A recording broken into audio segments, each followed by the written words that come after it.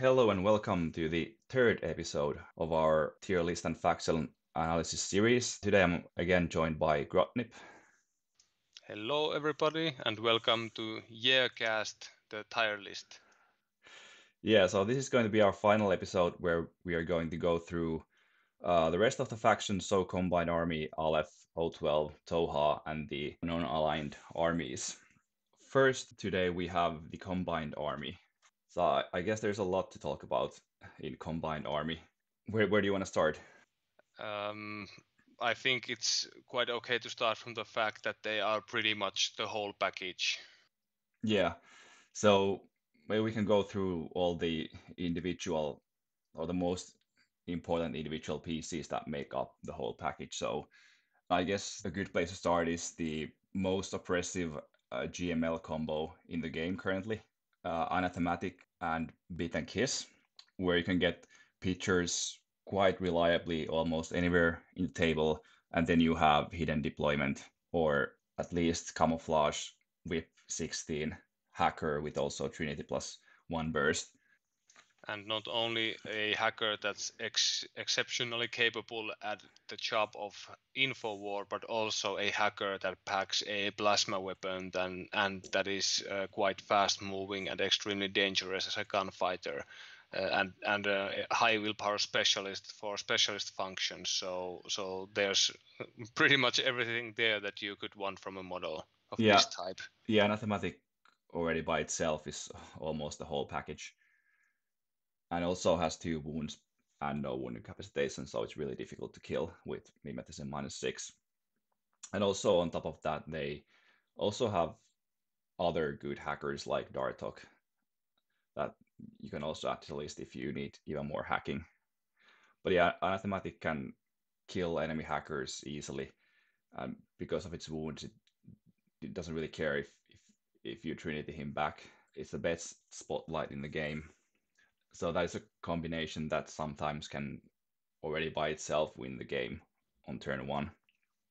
And then when we look beyond that, um, in uh, in some other faction we could discuss how uh, an element like this has to carry the faction because the support is lacking. Well, that's not truly the case here because the support available and the rest of the pieces available to a combined army list are so tremendous. When you look at the humble supporting pieces uh, like the war bands and the baggage bots, they are uh, some of the best, if not the best, in the game. Datu, uh, are amazing war bands with their mimetism, their uh, high physique, their berserk, their excellent close combat skills. Uh, they they give you access to impetuous smoke throwers that can then throw smoke for your MSV, uh, Charontid if if you want to do that. Um, the Ikadrons are are not only uh, baggage bots, but they are fast-moving baggage bots on uh, smaller bases than what you usually find. They come equipped with repeaters, flamethrowers with extra burst, and repeaters. So, I know. what, also what else could pulse. you want? Yeah, yeah. I think Ikadrons are models that are not talked about often, but they are probably the best cheerleaders in the game. I think because of the reasons you mentioned, they have those flamethrowers, they have baggage, they are Silhouette 2 only, but they're fast, they have flash pulses, and you can even like fix them quite easily. Do they have remote presence, by the way? I think they should. Let me just quickly check. Yeah, they have remote presence. Yeah, of course. why why wouldn't they? yeah.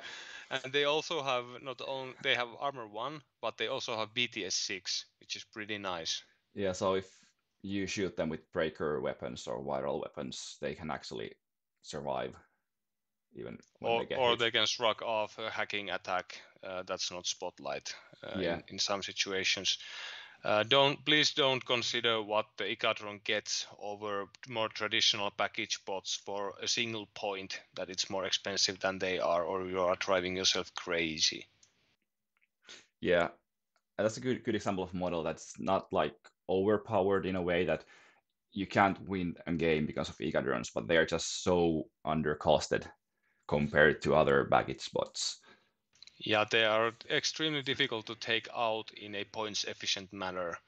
and and in combined army uh, it's easy to feel when you're facing them that you are having to fight outfight so many overperforming models that aren't breaking the game in and of of themselves but they when when you stack enough of those together it just feels like an uphill battle all the way through yeah and then when we continue with warbands uh, they have of course Taighas which uh, are not the best warbands in the game but they are really useful in combined army because they're great at protecting expensive units with their uh, good dodges and sixth sense and also they have the four point gakis to give some extra flexibility to your list building.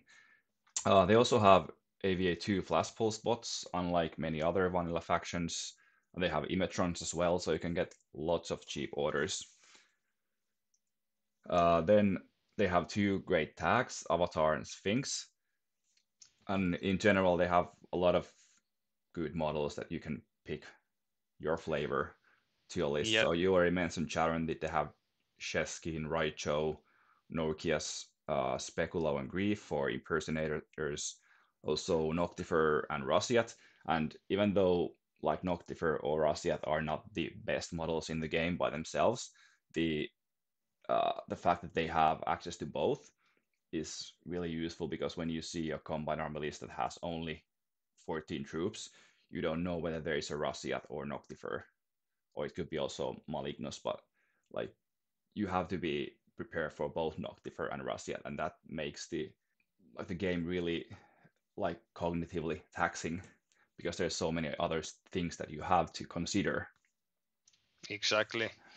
And they, they still have access to uh, Libertos, uh, Calibans are pretty great uh, Dr. Worm is at the same time a doctor and an engineer, which means that it's a one stop shop. Uh, you only need to sacrifice a single troop slot and pay a medi- mediocre amount of points, and you get both engineering and doctoring support to your force. Uh, and when a combined force um, includes several remote presence models, that means that it's quite reliable uh, rely, uh, it's it's quite often the case that the enemy is unable to take your models all the way to dead, and then you can revive them using the rerolls if necessary. So that also gives them some some uh, staying power that other factions may lack in the same situation. Uh, and the combined army factions also benefit from a TR bot, a total reaction bot, that has mimetism, and that's quite quite an upgrade. Yeah, I think it describes the Vanilla Combined Army pretty well. That they have the best TR bot in the game, but you don't see it often in Combined Army lists because there's so many other things that are even better.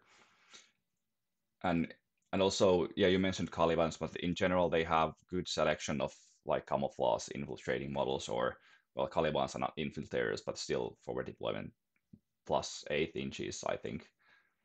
So they're almost like infiltrators. And they have motorized bounty hunters because why not? Sure get everything. They have access to um, extremely good uh, msv unit in in the Charontid uh, and they even have some depth when it comes to msv units if you need feel like you need it. And also if and when the combined army list is running a uh, aspect lieutenant that is a Charonted or or some other variation of of the um, what's the skill called? Mnemonica units it's almost like you have a universal chain of command in your list because the only way basically to take out the lieutenant for good is to isolate them uh, if you don't isolate the combined army lieutenant that has Mnemonica, it's able to then, when you kill it, jump into a different model with its willpower and the lieutenant ability. So they are extremely resistant to loss of lieutenant. Yeah, yeah, that's true. So overall, one of the combined army has almost everything you want in a faction and a bit more. So are we talking about S tier yeah, we're clearly talking S tier here. Uh, only question is above or behind, or above or below um, nomads. Uh, yeah, we didn't really talk about the weaknesses of combined army, and of course there are not many weaknesses, but Yeah, I, am I'm, I'm inclined to say we already did. There aren't any. Yeah, I think the like the only maybe way, major weakness in Vanilla Combine Army is that they usually their lists have like a couple of uh, expensive, really good models, and they kind of have to carry the list on their shoulders. Although they get great support, but it's still those couple of models like maybe Anathematic or and Charontid or Sheskiin. And if you're somehow able to neutralize them or are able to kill the orders from the list, uh, then they start to struggle. But also, like you mentioned before, like getting rid of those orders from combined army can be more difficult uh, than you than you think because a lot of them have remote presence and uh, Taighas are great at dodging. Uh, so you are likely to waste some orders when you're trying to shoot stuff down. Yeah, just like you pointed out, I, I also feel that the so-called standard uh, vanilla CA aspect list is is quite top heavy. So there is you can either uh, outfight them by by targeting and and successfully taking out the big hitters or by starving them of orders. But both are difficult to do, especially against a an excellent CA player.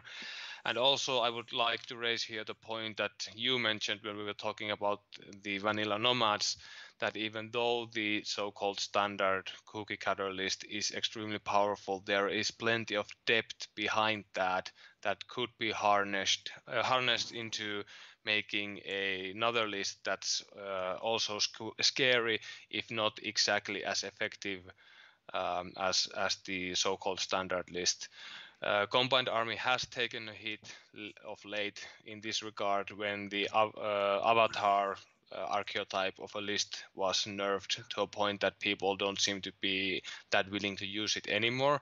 But I also feel that there is a possibility of building different kinds of vanilla combined army lists that would not be as top heavy and that would be still quite scary.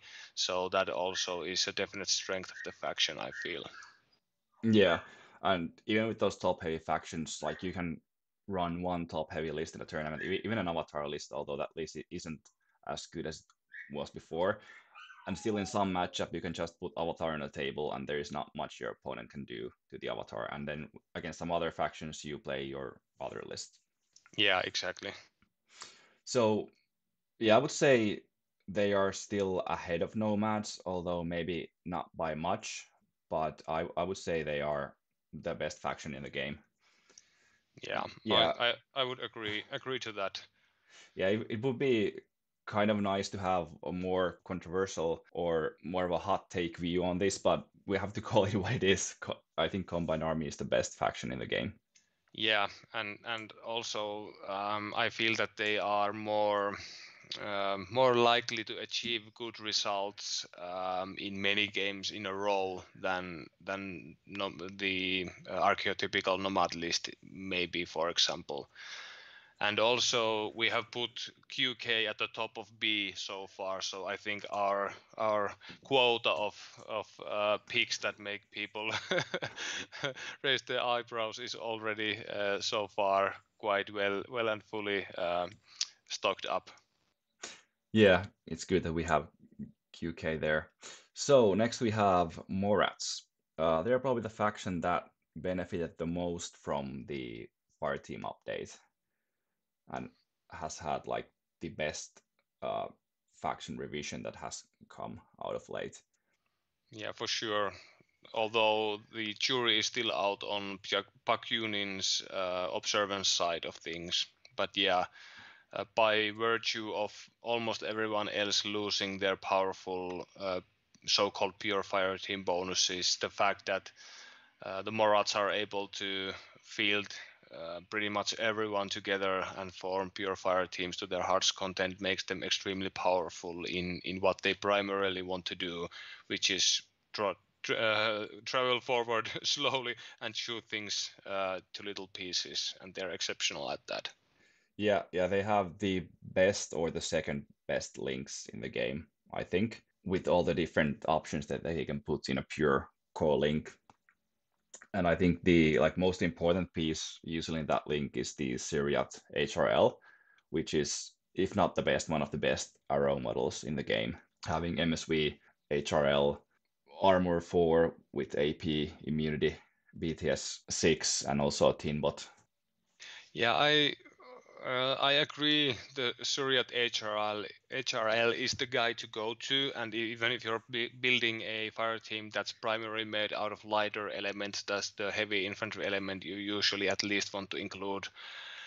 Um, I really don't like the design of of, of the Suryat HRL because it's a one-stop shop that gets you basically everything, and by virtue of being that, it knocks all the competition off the table pretty quickly. You can obviously uh, pick some other MSV options that have, for example, longer range. Um, uh, there is the potential Feuerbach, for example. Yeah, yeah. There's also yeah potentially more stopping power there, but uh, none of those units gets you everything that the Suryat gets.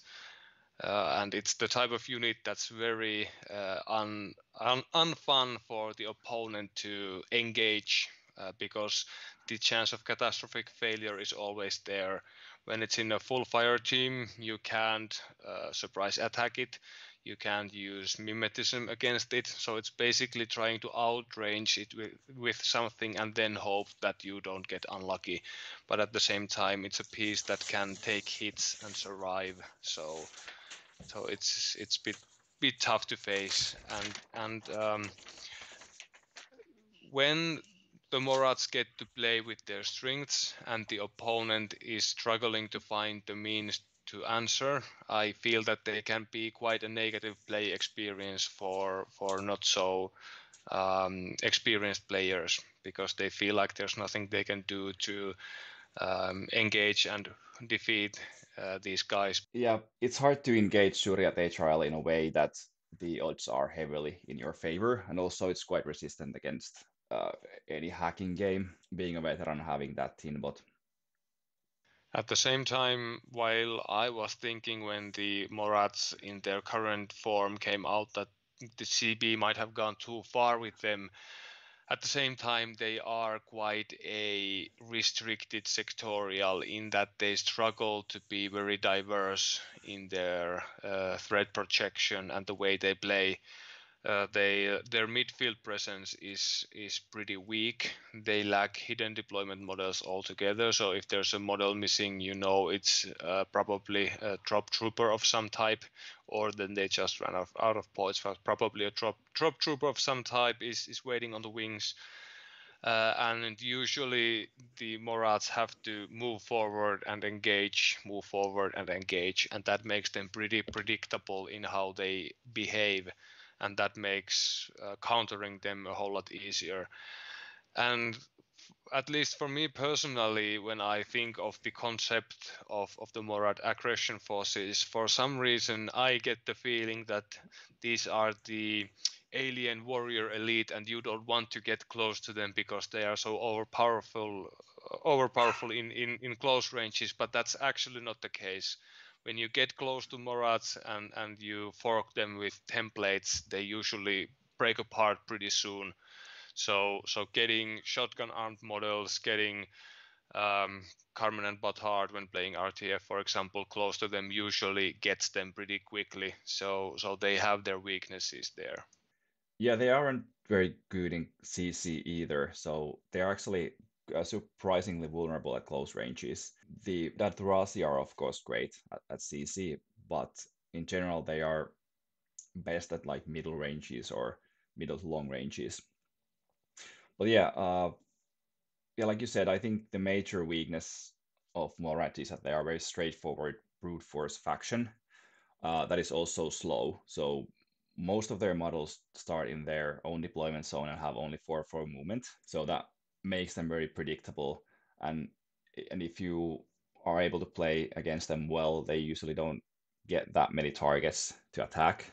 Uh, they of course have some models that are really dangerous, like up close, like the chain rifle uh, Kaitok. Yeah, but at the same time, that's a model that's quite easy to stop with traditional heavy infantry counters like hacking. It's a BTS BTS three model So even if it's in a fire team with a tin bot, it can uh, struggle to uh, survive hacking attacks. And it's also a model that risks, uh, due to its higher first movement value, it risks out, outstripping the rest of the force that, or the rest of the fire team that's accompanying it. So it's not that easy to utilize um, at, at close ranges either. Uh, and if, and from what I have seen so far, most Morat players don't seem to be packing uh, the guided missile platform, even though Dartoks are amazing hackers and um, they Morats have access to two of them. Um, that's something that I feel Morat players could maybe use to diversify their attack vectors. Obviously, that means that then their uh, straight shooting is gets gets uh, dinged because they don't have the SWC for for um, more big guns. But uh, like you said, if an opponent is able to starve them of long range targets and draw them up close, then then the Morats can be uh, in a, tr- a troublesome situation in that case. Yeah, and also the fact that they usually move in links, usually a five man link or at least three-man Haris, means that their models are grouped quite close together, and then when you can get some template weapons there, uh, they can start to die quite quickly, even if they have two wounds and and pretty good armor. Sometimes they will just out, uh, the attacker, but yeah, yeah, often they're going to going to start going down. And they're also a faction that gets two Harises, and uh, many Morat players choose to field that. But when you have two three-person Harises and a fireman, five-man core, which is something that the Morats usually want to do because of their full fire team bonuses, that means that you are basically tying up 11 out of your 15 models into three tactical elements, which uh, highlights or, or, or, emphasizes the fact that they are so so uh, easy to predict and, and they have um, only so many ways of engaging and and that makes playing them quite reasonable. So where are we going to place them then? I think they probably still belong to A tier. And I just want to, before that, I want to highlight. I think you made a really good point about Dartok and the GML play. I think I totally agree that not including a Dartok and a missile bot is probably going to be a mistake often in the more at least, although then you get access to only two big guns in the list. But having that versatility in your attack options is great because Dartok also has pitcher and you get a pure link, so you can actually fire those pitchers quite reliably. And if I'm not mistaken, they also get Ikadrons. Yeah, sure.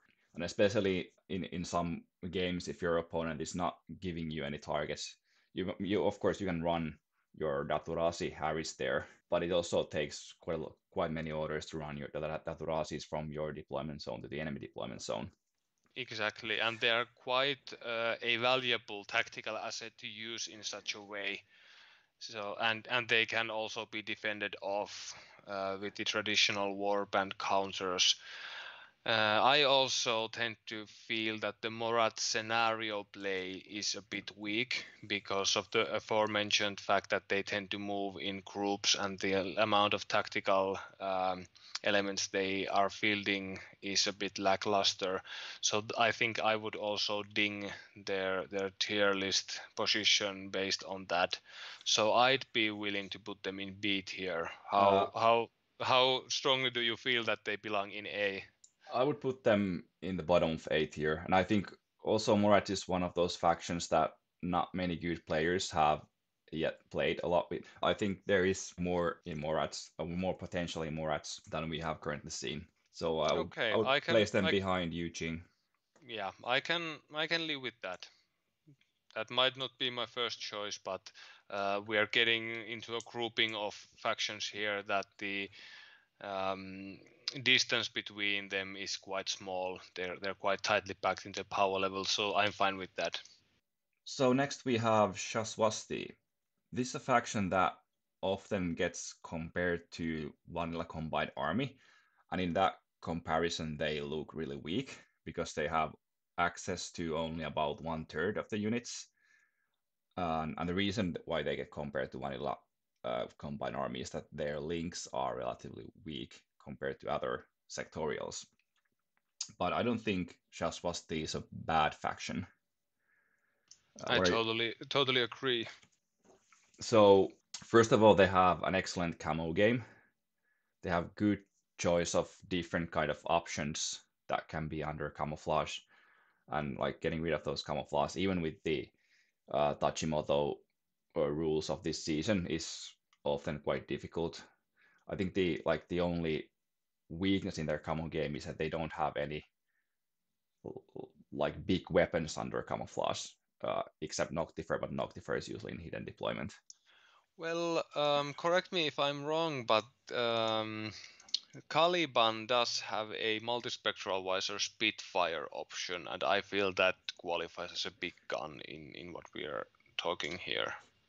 Yeah, and yeah, also, yeah. For and also, active turn, Shasvastii is one of those factions that's able to mimic the effectiveness of uh, heavy weapons by employing other types of attacks. So I, I wouldn't um, wouldn't make uh, too, uh, too much of a point about them lacking heavy weapons in that regard.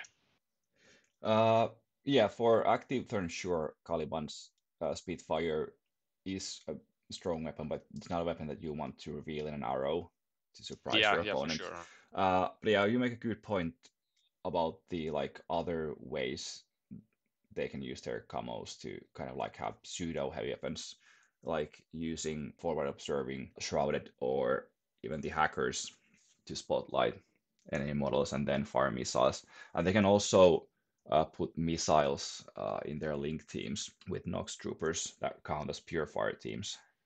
Yeah, um, I'm actually starting to warm up to the Nox fire team composition thing because being able to put your your missile bot there, um, you're able to field quite affordable hack Nox hackers in that fire team. Also, uh, they get Ida uh, Swanson, who I think counts as a Nox.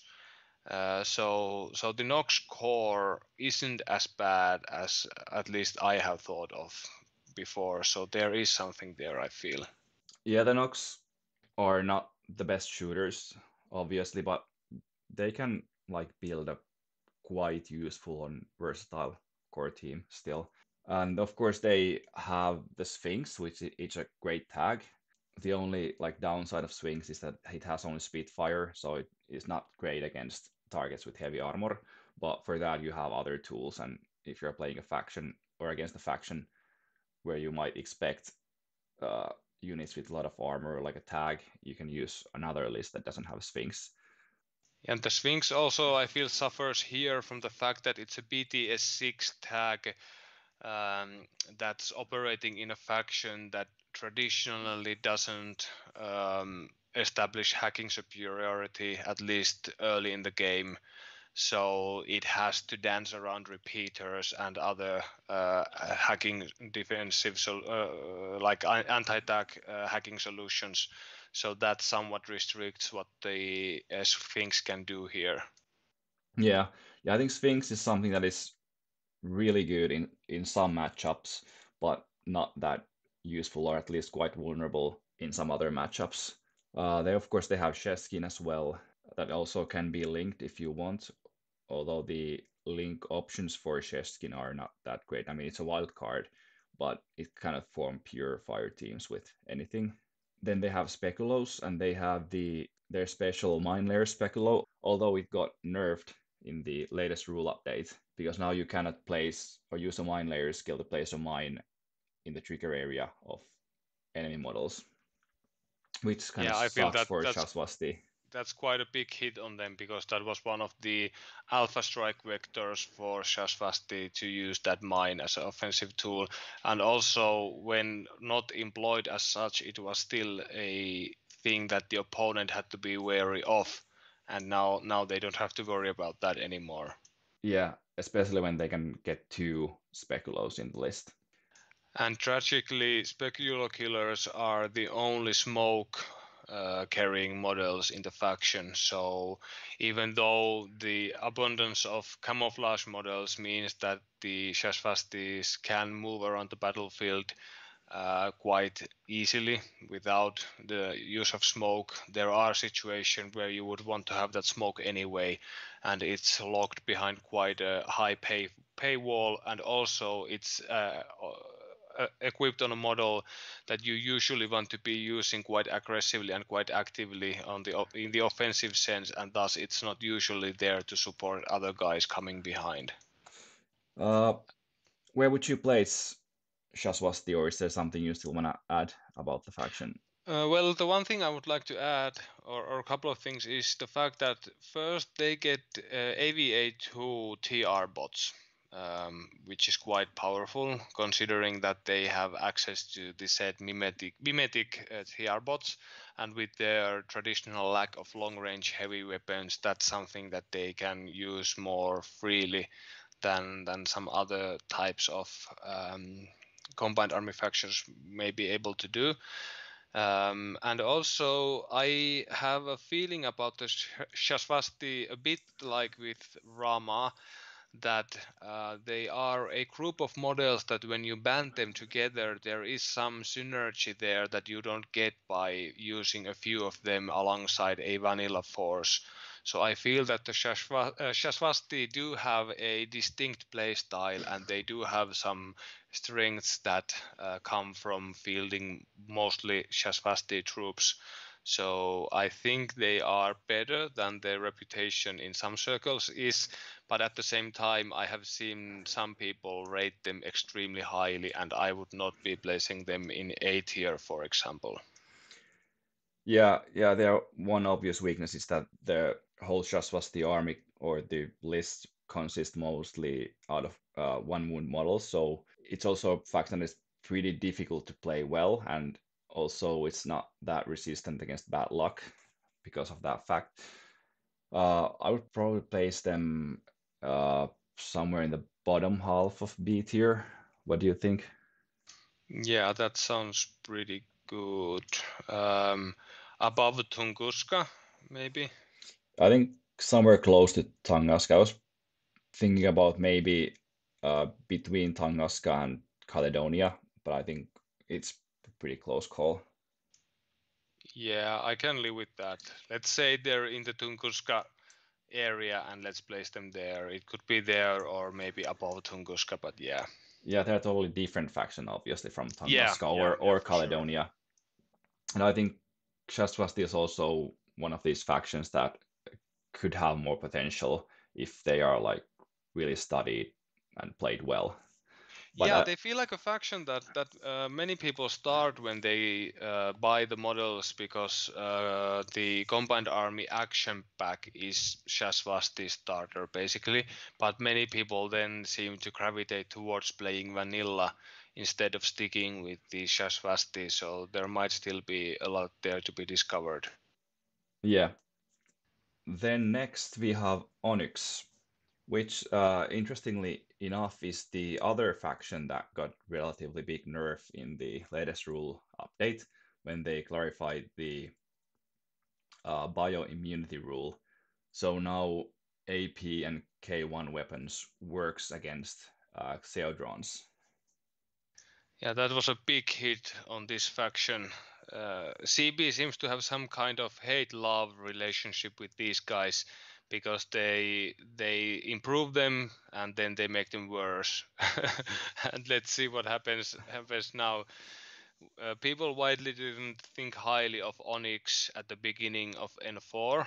Uh, they are a faction that lacks many of the excellent things that uh, the combined army vanilla gets, um, starting from such simple things as smoke and, and basically warbands altogether. Um, but with the addition of the NCO uh, Nexus engineer, um, the extremely tanky double Xeodron um, Nexus engineer NCO Vulcan shotgun uh, fire team became more or less the faction's calling card, at least um, in in the minds of people.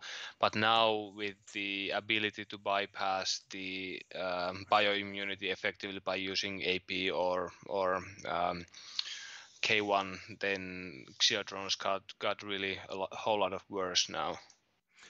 Yeah, that's true. But I think the Xeodron Haris is still pretty good because they are 50 point models that have three uh, structure, ARM 5 and BTS 6. Uh, they're decent at shooting, and that Nexus NCO engineer uh, gives them, of course, the ability to uh, fix the uh, Xeodrons, but also the NCO order. So technically, that Haris has uh, 13 or even 14 orders to use.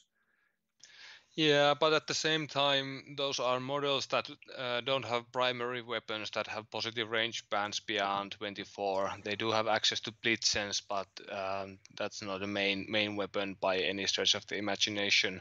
They also they can't see can't see through smoke, and they entirely lack template weapons. The Xeodrons, uh, on, only the NCO engineer has one.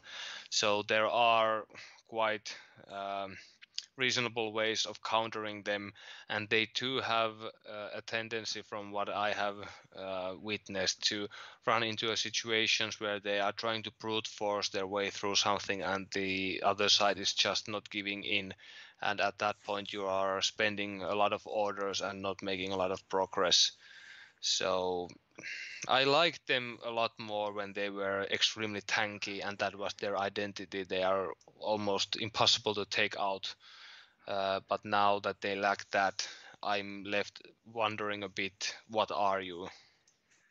Uh, yeah, like you mentioned, Xeodrons aren't the best uh, at taking on really good ARO ARO uh, pieces because they only have BS 13 and no like visibility modifiers. Uh, but then you of course you have bit and kiss that you can throw a repeater next to a strong ARO piece and handle it that way. Uh, they also get access to Suryats, uh, which are not as good in Onyx that, that as they are in uh, Morats, but still uh, pretty okay. Uh, they have Noctifers also, so they have quite good selection of different combined army units, I think. Yeah, and um, the Unidron fire team is there. You can theoretically build a, a fire team that when you use support where uh, you have effectively BS17 um, front piece in that model with either plasma sniper or heavy rocket, uh, sorry, missile launcher.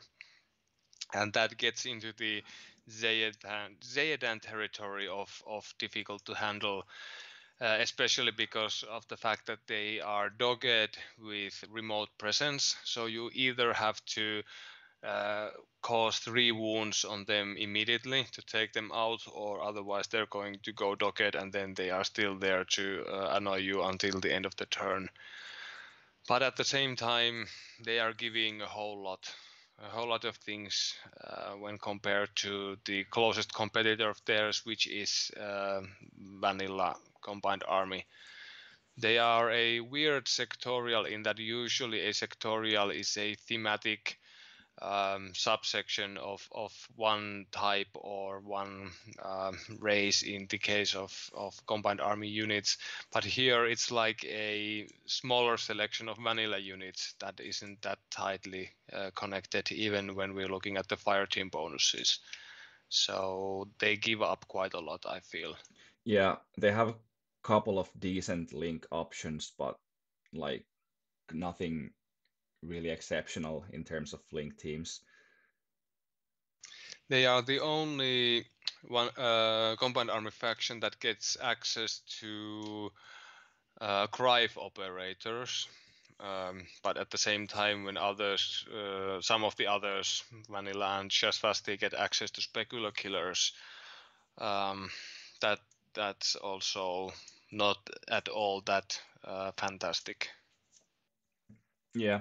I think the one good thing, maybe not in terms of like faction strength, uh, but in general, is that you can uh, create uh, many different kind of builds with uh, Onyx, and also in terms of like faction strength, it's great that uh, your opponent doesn't really know what they're going to be up against when they're playing against Onyx.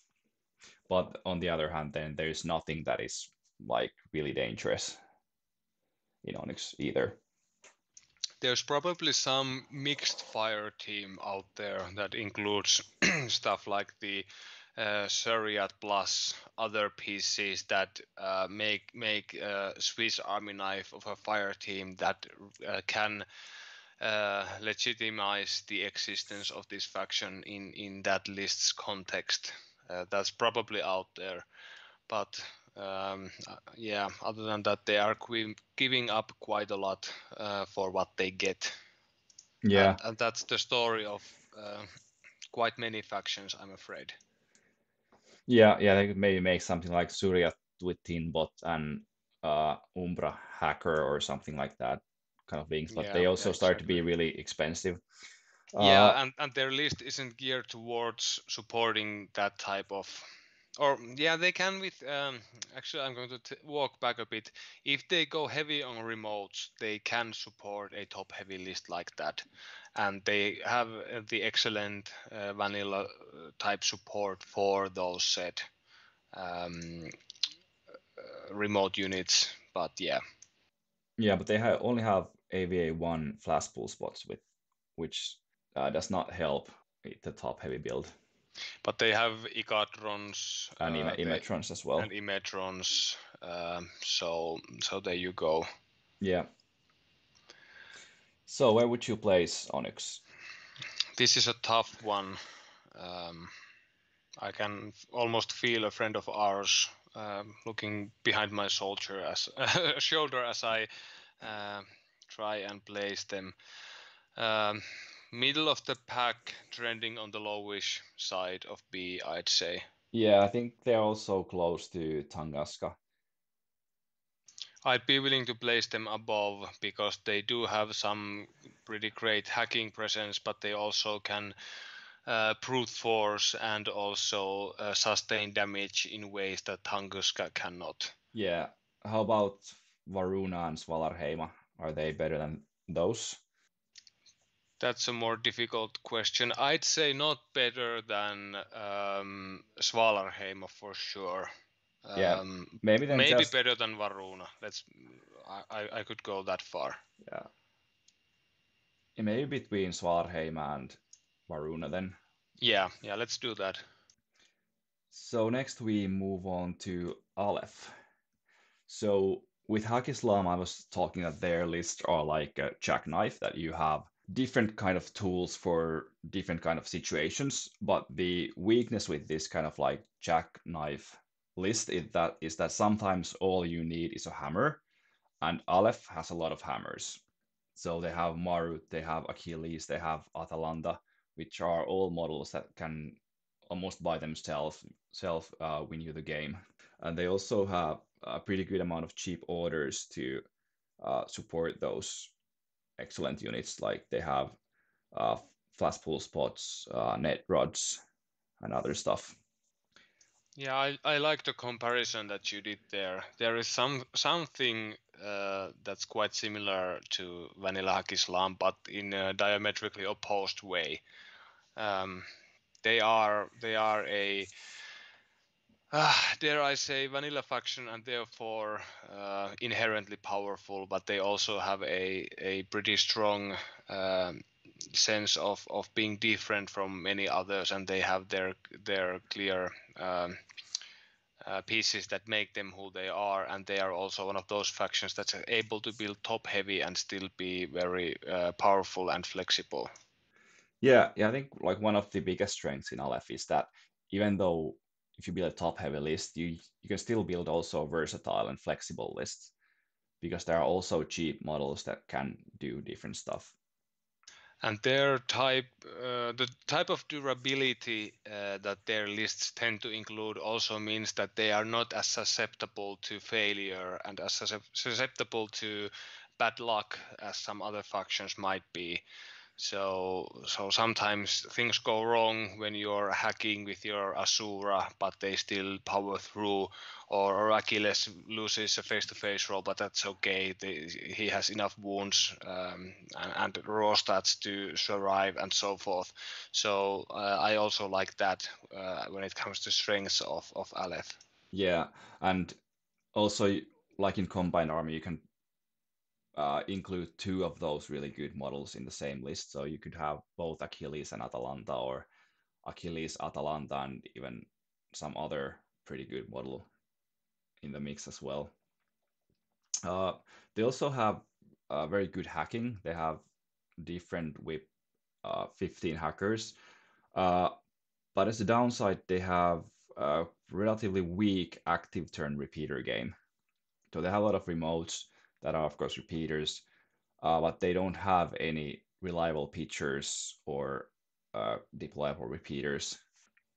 Yeah, and I also feel that the um, hacking game of Aleph has more or less remained as is for quite a long time and many other factions hacking games and and hacking strategies have improved quite remarkably. So i feel that if, if in the past at some point we could say that aleph is is one of the best hacking factions in the entire game i don't necessarily feel that they are an outlier in that way anymore. Sure they are powerful but they are not top tier in my mind. Yeah also aleph lists are quite uh, SWC hungry. So actually, I think you have to really make a decent decision whether you want to include a missile bot or not in the list. And you can definitely build good Aleph lists without a missile bot, although then you're going to miss one of uh, useful attack vectors that many lists have. For sure.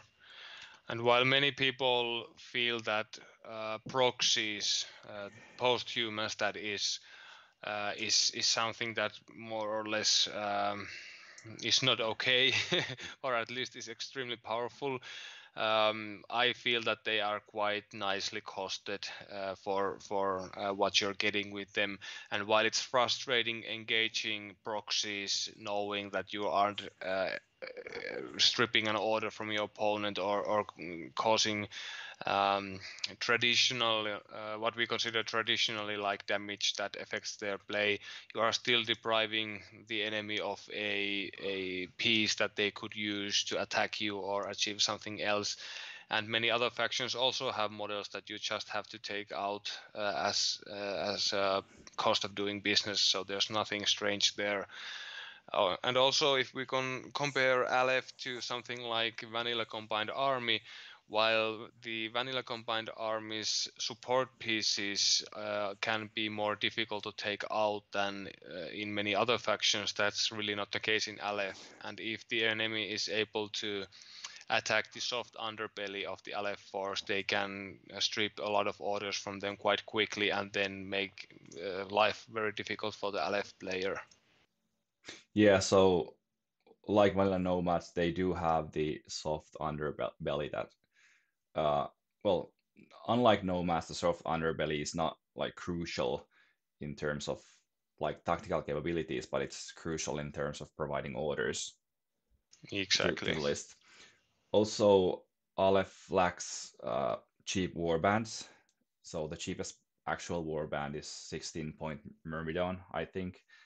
Uh, they all, of course, they do have diggers, which are kind of like war bands, even though they are heavy infantry, but they are also 14 points. So that also limits the their ability to have smoke, which is something that Marut or Atalanta usually likes to have. And also, uh, I have a feeling when it comes to their, uh, they have like a heavy remote type. I always forget the names of of uh, Aleph remotes, but they do have like this heavy remote type, uh, Rudra. Uh, Rudra, yeah. I somehow feel with Rudras that they are the first, or at least the prototype version of this heavy remote type unit that we are now seeing more of in, in N4. And as such, they are somewhat conservatively um, built uh, as a unit. They are good, but they aren't game breaking by any stretch of the imagination. Sure, my dispenser is nice, but they are quite expensive, not all that tough, uh, and so forth um, when you compare to something that, for example, the nomads have access to, I feel that uh, Aleph gets the short end of the stick.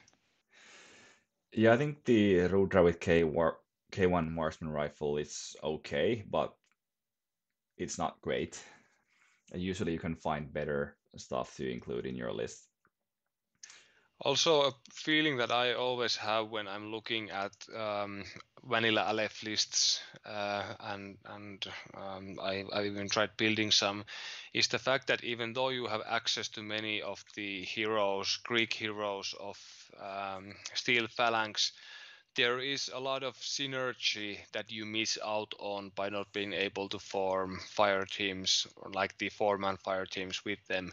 So uh, there the hero type units can be used to augment um, nomads, vanilla nomads, but they aren't as strong here. Many of them aren't as strong here as they are in in um, Steel Phalanx.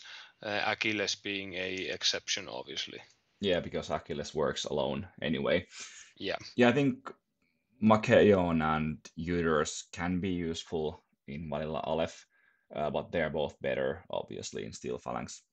Uh, and then, of course, Penthesilea is pretty good in Vanilla Aleph. Probably even better in Vanilla Aleph than in, in Steel Phalanx because yeah, it yeah. access to more cheap orders in Vanilla. Yeah, and, those... and, you aren't losing out on any any synergy there by using her alone. Yeah. Uh, so are we ready to place Aleph somewhere, or yeah, yeah, let's add? do that. Where would you place them? I think they could be just ahead of Yujing, but behind Cosmoflot. Hmm. Yeah, I I can I can get behind that. They do impose some of the same feelings that Yujing does. Um, I, I can live with that. I don't have a really strong feeling about Aleph. I would be willing to place them lower also, but I think that's a reasonable place for them to be at. Yeah, I think they are really close to Yujing. They could be like also behind Yujing, but currently my feeling is that they are perhaps slightly better because a few of their units are are better than anything that Yujing has, like Marut, Atalanta, and Achilles. And, and those yeah. are units that sometimes, uh, like I said, can renew the game almost by themselves, but they are not units that like restricts your list building too much that it makes the list vulnerable in other ways. Although Marut perhaps is a bit like that, but you can still build a robust list behind Achilles and Atalanta, for example. Yeah, yeah, for sure. And and when facing Aleph, you really can't be sure what's going to come at you. So so that's pretty great also. So yeah, yeah, I think that's fine. All right. Uh, then we have Steel Phalanx. So I think Steel Phalanx has probably the best links in the game, even better uh, than Morats, even though they cannot form uh, uh, five-man core teams. Uh, but their teams are a lot more versatile. So they have good shooting, they're good at CC, they are durable. They have basically everything you want in a link and you're able to customize those fire teams to achieve what you want them to do. Where I was complaining that the Suryat HRL is is the one-stop shop for all uh, Morat fire teams, more or less. Um, you can really customize a Steel Phalanx fire team to what you want them to achieve by adding the different types of heroes there and every, each and every one of those brings you something different some other capabilities some other possibilities for that fire team and i really really like them for that. Even though every time when i face them and i ask who's in that fire team and they give me four greek names i go uh, which ones were these again? But still I, I really like the way they they play and i like how they build lists. Yeah now after the fire or after the uh, faction revision, they also got access to Pandora that is a bit cheaper than the Greek heroes and also gives them access to hacking and GML play that they uh, missed before. And correct me if I'm wo- wrong, but Skylla got a lot better also, so their hacking game was doubly improved. Yeah, they are actually a pretty good hacking faction at the moment, and their I think their aggressive hacking is better than in Vanilla Aleph funnily. Yeah, yeah, I totally agree with that. And they also have the uh, what is it called? Uh, Ekdromoi, uh, the combat jump hacker or parachutist, if you want, which also Yeah, has WIP they're, 14. Although they're you, really aggressively costed for what they do. yeah, it's only 25 points for WIP 14 hacker that has a parachutist and combat jump. And one more thing about the fire teams is the fact that many of the Greek units or the heroic units, however you want to call them, uh, have either impetuous or frenzy, and they get the full use out of the frenzy and impetuous discount by forming fire teams, where those uh, those are uh, basically optional skills that you can utilize when it serves you and ignore when you want to. So that's really great also. Yeah, yeah, that's true. Uh, I would say that the only weakness of Steel Phalanx perhaps is uh, is guided missile play. That they don't, well, I think Hector has a tin but but Hector is another like vulnerability by itself uh, in regards of uh, GML play. But other than that, they don't have tin bots. They have uh, quite expensive models that have like almost no defense against uh, hacking and and GML. That's true. In- though I have to um, include the caveat here that they are one of those factions that has access to devastating hidden deployed ARO pieces in the form of hidden deployed Atalanta uh, and the uh, Agema marksman missile launcher especially. And those are the types of pieces that a savvy player can use to try and draw out, for example, the picturing or repeater carry, carrying assets of the enemy and then try and engage them. And while that's not necessarily cost effective and it's far from uh, certain, that does give them some counterplay in that regard also. So I, I also like them for that. And the heroes tend to have uh, decent willpower and high physique. Many of them can take more than one wound. So it's often the right call for a hero to reset when being fired upon by a, a GML because they're likely to not go down and at least not all the way to dead when they get hit. And if they can reset, then they can uh, clear the table and, and be more or less safe until they get spotlit again. Yeah, and usually you also have a doctor in the link, so you have to like totally kill the models, which cost more orders. Uh, but the one weakness in Steel Phalanx is, of course, that if if you lose like only one or two models, your links are already much worse. Yeah, you lose the sixth sense after the first model, so that really really hits you hard, especially when uh, you're faced with the GML play. Yeah, and also you lose one order, and like orders is something that Steel Phalanx doesn't necessarily have that many. Yeah, and, and when there are models that um, produce several orders by themselves via tactical awareness or effectively produce orders through NCO, when you lose those models, then you also lose those orders at the same time. Yeah. Uh, they do have, uh, if I co- remember correctly, they do have access to uh, AVA2 um, Tachimodos at the moment. So that's also, yeah, that's also a, a good advantage of theirs. They can pack quite a lot of orders into a smaller amount of models. So are we ready to rate them? Uh, yeah, it's the one last thing I want to add is I, I guess when building lists with Steel Phalanx, I guess the like the main question is that do you want two hero links or only one? And if you are playing with two hero links, you can like make a pretty good almost limited insertion list where you have like a couple of flash pull spots and maybe a Warcor in the second group and two really strong links in the first group. And that's still a really good list. Uh, but yeah, I would place Steel Phalanx definitely in A tier, probably ahead of Vanilla Aleph. Yeah, I feel that's the right spot for them. Behind Cosmoflot, because no bears, but but still. Yeah, let's place Steel Phalanx there. So next we move on to OSS.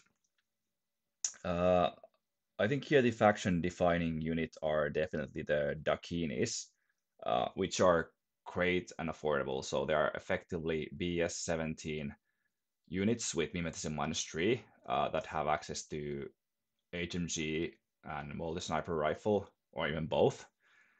And they can even add Deva into the link to give some protection against hacking and to give number two for the link, which can be quite useful. They also have access to uh, an Asura Lieutenant plus one order hacker hacking device plus profile, which is, uh, I feel, by far the best Asura profile out there, and it's not available to vanilla Aleph. Yeah, I think after Anathematic, the uh, that Asura is the second best hacker in the game. Although, like in vanilla Aleph, the downside in Asura is that you don't have bit and keys to provide you repeaters. So you actually have to get Asura uh, herself or then some kind of a bot in next to the enemy. But it's still a really good good hacker. And then of course uh, OSS has access to Maruts and posthumans, which are both good. And you can even if you if you want, you can even add Maruts and a Dakini core team in your list. Although then it's those two things are probably the only things you're going to have in your list that can actually do something or anything like significant, but it's still a possible list build. And actually, now that I checked, um, OSS does get Danavas hackers in a core or Haris of Dakinis. So you could theoretically have a Dakini plus two Danavas fire team uh, that would be firing burst 2 pitchers, but uh, that's only at BS11. And as a rule, I feel that while uh, OSS is really cool, they are also a bit conservatively uh, built uh, sectorial. And while they are more of Aleph in the sense that they have even better hacking options, um, and they they can um, lean more heavily on on the Dakini uh, and the remote side um, due to the Dakini fire team and what it can achieve, especially when combined with an Evo hacker. At the same time, it's less of an Aleph in in how how well it takes punches and uh, with the lack of all the Greek units, um, the close range performance and the aggressive close, close range performance, uh, both offensively and defensively, is is uh, adversely affected. So they are they have clear weaknesses in in that sense. Yeah, that's a really good point. I think uh, they're a bit like Morats in a sense that they are very straightforward, predictable faction. But in def different in Morats in terms that they are a lot less durable. So if we go back into Dakinis, uh, they also have a lot of weaknesses. So uh, they are quite weak to hacking. They don't have any like tin bots or anything. Uh, they're obviously only one wound model, so one unlucky face to face will take out the Dakini. Of course, they have remote presence, so you can bring them back up, but it's not gonna help at that moment when the Dakini goes down. Uh, they also very vulnerable against EM weapons, against direct template weapons and CC. And also, like when a one Dakini goes down, uh, you lose instantly two points of ballistic skill. If you lose the Evo bot, you lose effectively three points of ballistic skill. And then rebuilding the Dakini links uh, takes a lot of command tokens and while it's quite uh, plausible that when you lose a Dakini, they only go into unconscious due to remote presence, it still takes orders to get them back operational, and it still takes command, to- command tokens to reform the fire team if you choose to do so. So that's not a situation where where the uh, OSS player gets to walk walk away from the situation without having suffered any any adverse effects to their ability to continue fighting. Yeah, and if the opponent is not providing you easy targets for the Dakinis, then they probably have to move forward. Uh, but the more forward they move, the more vulnerable they, they start to be against different kind of threats. And Dakinis are one of those weird fire teams where they have access to paramedics, but they aren't paramedicable themselves. So they don't bring um, organic uh, revival support with them um, like many other fire teams do. Yeah, and there in general, there's not much that the Dakini paramedics can actually heal in uh, OSS because most of the units that have wounds have also no wound incapacitation. Uh, I think pretty much the only like revival units are motorized bounty hunters, which are actually really good in OSS by providing Or. CSUs if you choose to include those, but they don't count as Dakinis, so probably not. Yeah, Also, OSS lacks smoke itself, and its multispectral visor pieces are uh, the top hitters. So you're talking, we're talking uh, Asuras, we're talking um, Dart, and we're talking Marut, and those are elements that are quite easy to bypass. Uh, because the uh, OSS player has to play more or less conservatively with them to avoid losing them. So smoke can blind, for example, the set Dakinis and then make them easy easier to engage. yeah, or just avoid, which is Yeah, or avoid while while the OSS player can't just smoke the objective and avoid what's guarding it. They basically have to engage it one way or another. Yeah, and then OSS also lacks warbands, which makes them a lot more vulnerable against any kind of threats that are coming to your face, especially if the Dakinis are uh, blinded by smoke. Yeah, exactly.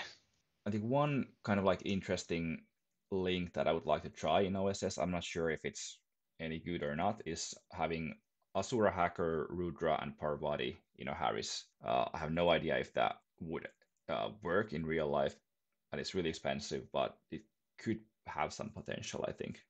It sounds sounds like something that e- either gets the job done or gets killed and then you lose. Yeah, yeah, that link is basically taking half of your points. Uh, overall, I think OSS has few very strong but vulnerable uh, PCs and lacks versatility and robustness, and they are pretty predictable, like we mentioned.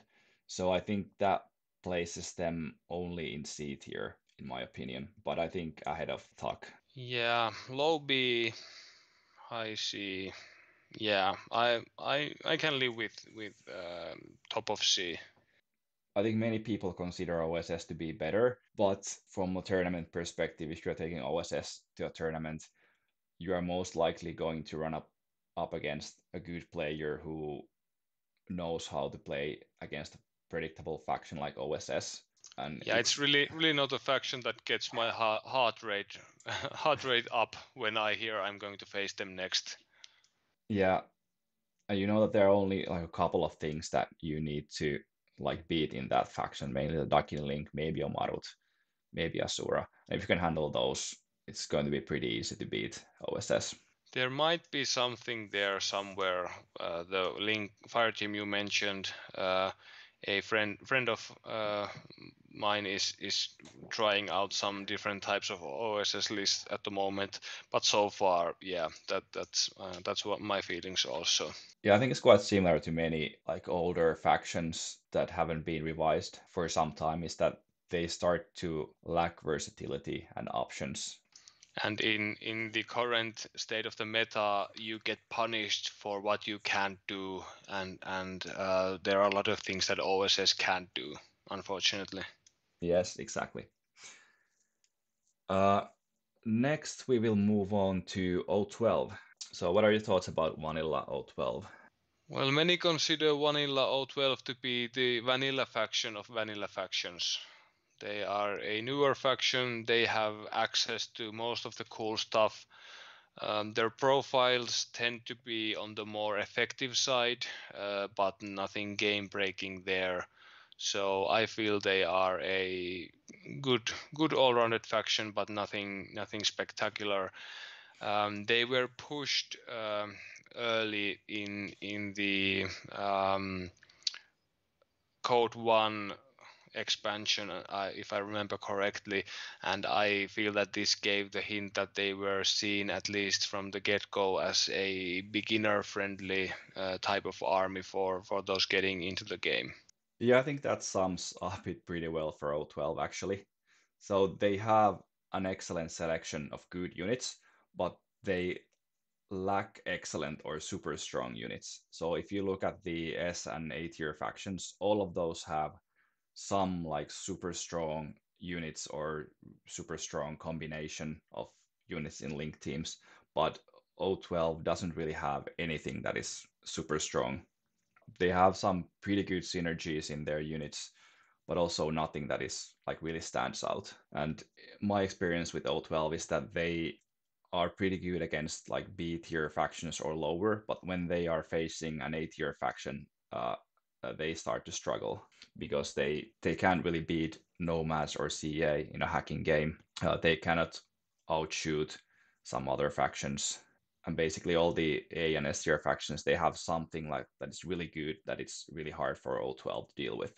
Yeah, and also I also feel that many B tier factions also have something while they have weaknesses that O12 might be able to capitalize on, they also have things that they can use to overpower O12 with. Yeah, that's also true.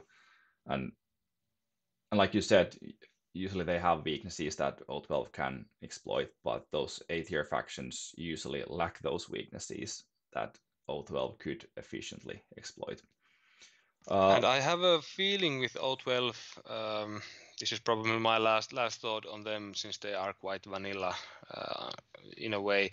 But I have a feeling that um, the riot stoppers were supposed to have a stronger gameplay effect, and that was supposed to be part of the um, way this faction works they were supposed to be their type of shotgun when when comparing to Haqqislam, for example. But um, you don't see people getting shot by riot stoppers all that often now, do you? Yeah, riot stoppers are not very useful, I think. There are corner case situations where, where I have been shot with them, but it's not usually something that you need to be that worried about. Um, riot stoppers can be used to immobilize powerful enemies, but at the same time, um, it's only only a mobility kill uh, in the most uh, basic meaning of the of the word of the term because the enemy is still providing an order. They are still controlling uh, zones that they are part of.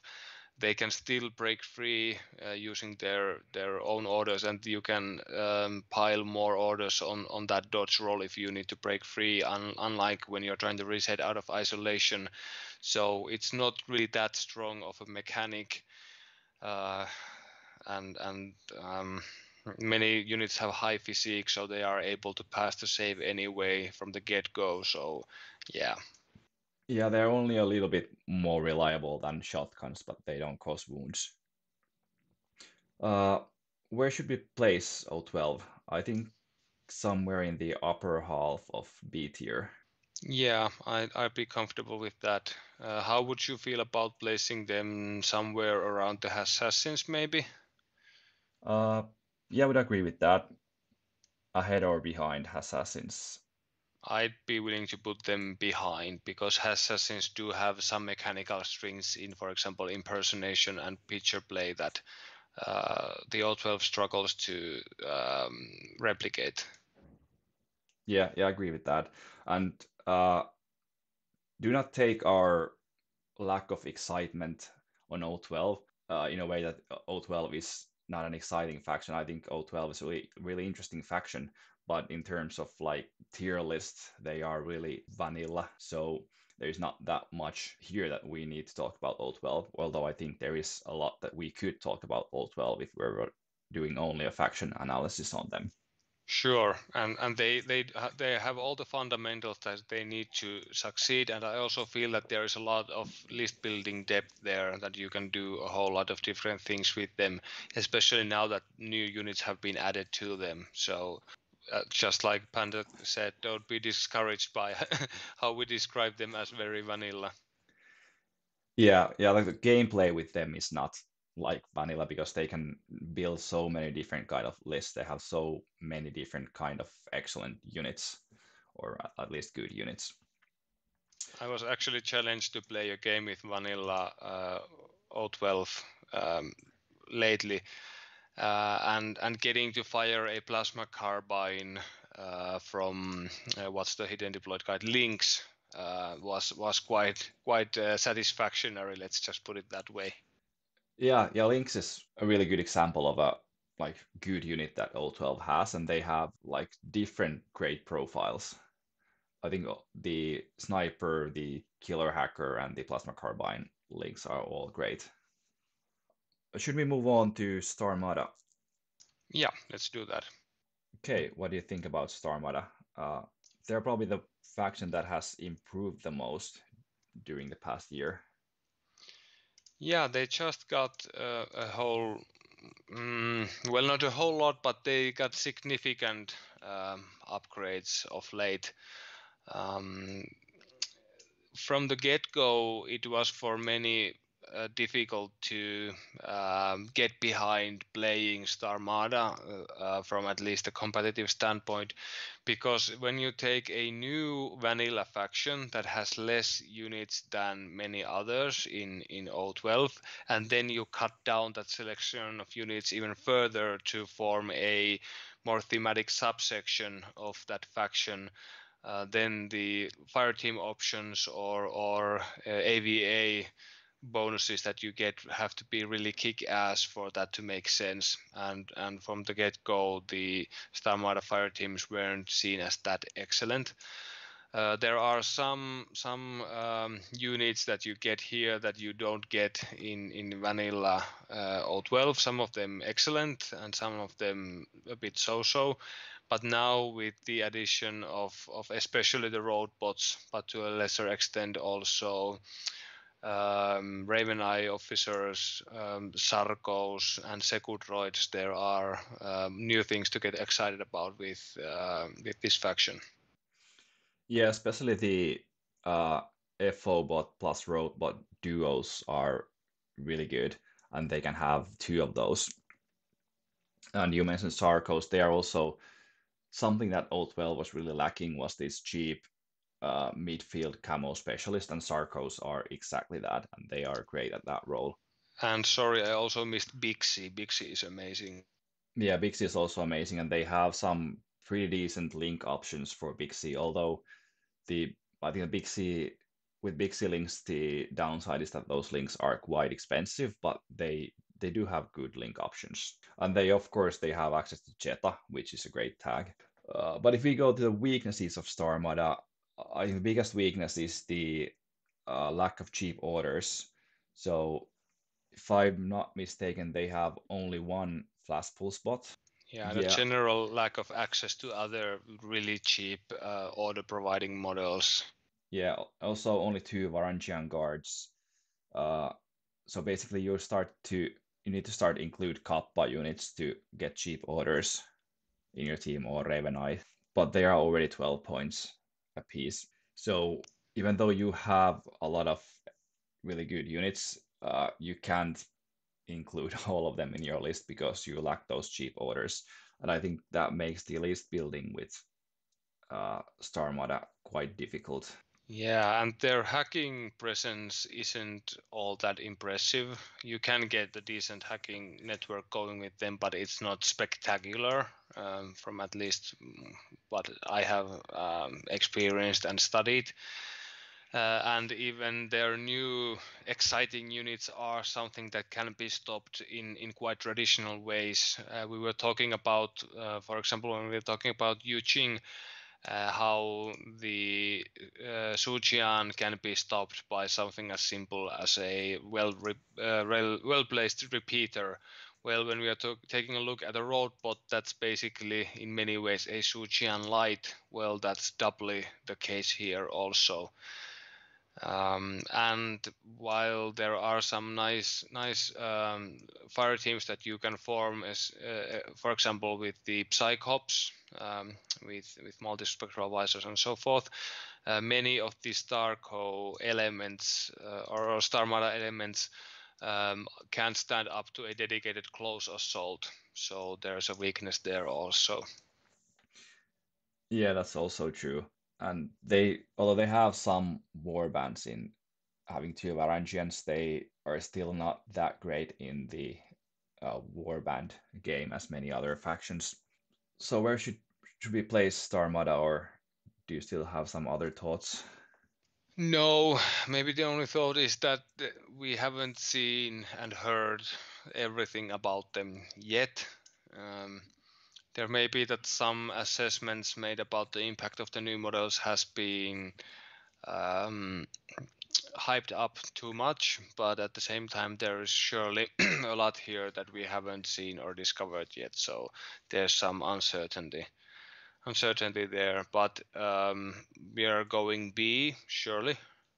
Mm, maybe low B tier because they have they have great units, but they just lack cheap orders to build an actually efficient list uh, with those units. Yeah, I think I, I have seen some some lists, for example, where you where you get the Zeta tag, you get um, a Kappa fire team, a couple of Roadbot uh, Oko fire teams, and a hacker, uh, maybe some warband. So you get more or less what you need, but there's not a lot of uh, room there to to um, um, tailor the list. And then if you start to include more of the heavier elements then you have to cut something. So yeah middle of the pack B maybe. I do I would consider them more powerful than Onyx for example uh, and probably more powerful than um, Corregidor also.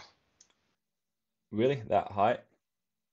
I think you need to post me that list because it sounds better than anything that I've been able to build. okay, I, will I'll do my best. But yeah, I'm willing to uh, trust you on this and put them ahead of Corregidor. Although I have to say that in the next ITS season, if they take out the bonuses to FO bots, if and when we assume, yeah, they might uh, retain some of those bonuses, or they their cost might increase. But when that happens, I think that will knock them down a few places in our yeah, for sure, for sure. Uh, the tactical awareness is really the thing here, and that's surely something that's gonna go. So, for so for that reason alone, let's not place them too high. Yeah, I mean, we will place them like as high they are right now, but with the caveat that when the rules change in next ITS season, they may drop down a few places. Yeah, sure. Okay, let's place them ahead of Corregidor for now. Okay, yeah, I feel comfortable with that. All right. Then we move on to Tohaa. I will let you take this one since you are a long-time Tohaa player yourself. All right, so in the beginning of N4, I feel that Tohaa was definitely an A-tier faction they felt really strong at that point because people had not learned how to play N4 and people have had not learned how to play against Tohaa that got the uh, new Taqeul unit with uh, endgame Ferrowear. But I think now that we have been playing N4 for two and a half years, uh, I feel that Tohaa is in a bit of a tricky uh, spot at the moment. And the reason is that like people have learned how to play against Tohaa. At least some people have. Uh, Tohaa still has a lot of strengths, but they have some like really noticeable weaknesses. Uh, but if we start with the strengths of Tohaa, uh, they have many good units that can link uh, all with each other. So they have Sukeuls who are great at shooting. Basically, they have the missile launcher, HMG, K1 sniper, and K1 combi. Which are all great profiles uh, with BS13, mimetism minus six, and basically two wounds. Uh, they have Makauls. Mimetism minus three, I think. Oh, yeah, yeah, minus three, yeah, sorry. Uh, they have Makauls that are great in close combat, provide heavy flamethrower, and have Eclipse grenades. And when you have Probably those... the best warband in the game. Yeah, I would say so, especially in the Tohaa context when you have them in a three-man link, so they get burst two for their Eclipse grenades. So that basically means that you can throw Eclipse quite reliably up to 16 inches because you'll be rolling tens uh, twice, so it's 75% chance of hitting that. And smoke. you're also defending in ARO with two dice 16 against basically everything. Yeah. Uh, then as a filler, you also can take Sakiels in those link, especially the Sakiel Paramedic is a great profile, 19.2 wound uh, specialist that can also fire those medikits to uh, their fallen Tohaa comrades. with burst 2. Uh, then you have Kaeltars for more defensive links uh, to provide chain of command if you want and provide symbio uh, mates and symbio bombs. Uh, then also you have Taqeul that are not as great as, at shooting at, at as Sukeuls are, but they have those Ferrowear attacks, uh, both Mirror Ball and Endgame, which are both really good. And of course, you have the Draal as another option. Uh, then uh, the model that I guess most people are most afraid of when facing Tohaa, Jan Star, which I f- feel is a model that can sometimes win the game by itself. And I, I've had like several games where I have won the game on turn one, only with Jan Star. On the other hand, the like downside of Jan Star is that it has only light shotgun and viral pistols, and even with symbio mates, it has only two wounds with quite weak armor. So it's a bit unreliable, I feel. So if you are going up against like uh, light infantry units, uh, it's really good. But then if your opponent uh, knows to expect Jan Star like they usually do, they can set up arrows pretty well. If they have some like more durable units, it can be more hard to actually get kills with Jan Star. Yeah, and he's a very much go first type of unit. If you lose lieutenant role and the opponent chooses to go first, the value that he has gets greatly impacted in a Yeah. negative way. Yeah, so like my experience with Jan Star is that probably a bit more than 50% of the games I will go first. Uh, during those games, maybe half of the time Jan Star has a huge impact and helps me to win the game, but the rest of those times uh, I spend most of my turn one orders on Jan Star, get maybe a bit unlucky or run into uh, difficult arrows that are coming from different directions or against like more durable models, I maybe get only one or two kills and I lose Jan Star on, on my opponent's like next turn, and I have basically spent all my first turn doing that and not achieved much. And then of course, about 50% of the time I will not be able to go first, and then Jan Star is only an okay model at best. So it's kind of a like polarizing model uh, that helps you a lot in some games, but when you're playing a five round tournament, Jan Star is not likely to give you like consistent wins in those games. Yes, and and many opponents, excellent or like tournament uh, winner caliber opponents, are expecting that they might be facing Young Star at some some stage, and they are trying to prepare for that. And the I feel that uh, the nine point mine laying beast hunter that most factions have access to is a pretty cost effective uh, and a reasonable way of trying to deter um, and slow down a, a Jan Star play. So there is the possibility that the opponent is ready for that and is trying to make your life difficult. And at some point, uh, using Jan Star gets more trouble, more you more trouble than than what what it's worth. Yeah, yeah. The difficult thing about the Beast Hunter is that if you have to dodge the mine with Jan Star or just take the mine and you don't kill the Beast Hunter, then it has the heavy flamethrower that can kill you outright if you don't have the mate anymore. So you might have to use a Liberto to first uh, detonate the mine and then move forward the Jan Star, and it uh, gets a bit more tricky. And in general, like playing Jan Star also like it takes a lot of skill if your opponent knows how to play well. Then maybe as a last like big strength of Tohaa, I would add that they are pretty durable. Many of their units have two wounds and they can get symbio mates as well, so they are pretty resistant against bad luck. Uh, but then, if we move on to the weaknesses of Tohaa and the reasons why I don't think they're an A tier faction anymore, first of all, they have no hacking, and we have like spent quite a lot of time in this video series to talk about how important hacking and GML play as an option is at this point of the game. Also, they have basically no defense against hacking either. Or and they, that, I feel that's really the big part here. They, Yeah. they can Tohaa can to some extent uh, dupli- uh, replicate the the tactical impact of GML play by using endgame and other Ferroware uh, but uh, they have absolutely no defense against it. Let's say uh, we're talking about the more powerful Ariadna factions. They can, for example, use their large numbers of camouflaged models to uh, defend against uh, guided missiles, but Tohaa don't get that luxury at all, basically. Yeah, like Ariadna, especially Vanilla, but also many of the sectorials as well, have usually only a couple of models that are really vulnerable against GML play like Unknown Ranger, but camouflage markers or those with total immunity don't really care about guided missiles. Uh, so basically, the only defense that Tohaa has against hacking is their wounds and the symbiomes that they can usually try to reset uh, against the first missile, and if they succeed, then the enemy will have to spotlight them again. But because Tohaa relies so heavily on having those three man links, and they have access only to three man links, uh, just giving one model from the link uh, with a guided missile already basically takes out all the bonuses that the link has.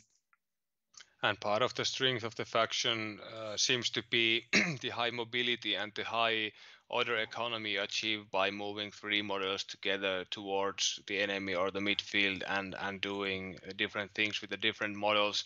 But that also uh, makes it so that the entire group is susceptible to getting spotlit in ARO with, with little to no chance to defend themselves. And when you start to have several of, of your models getting spotlit, then then it's game over for Tohaa basically. Yeah, and they are usually only with 13, so resetting against spotlights it's not that easy. And when you are being or you haven't been spotlit, you only have 50% chance of uh, resetting against it when you're facing a missile. And uh, what you mentioned takes us to the second big weakness that I think Tohaa has is that uh, they're a pretty slow faction.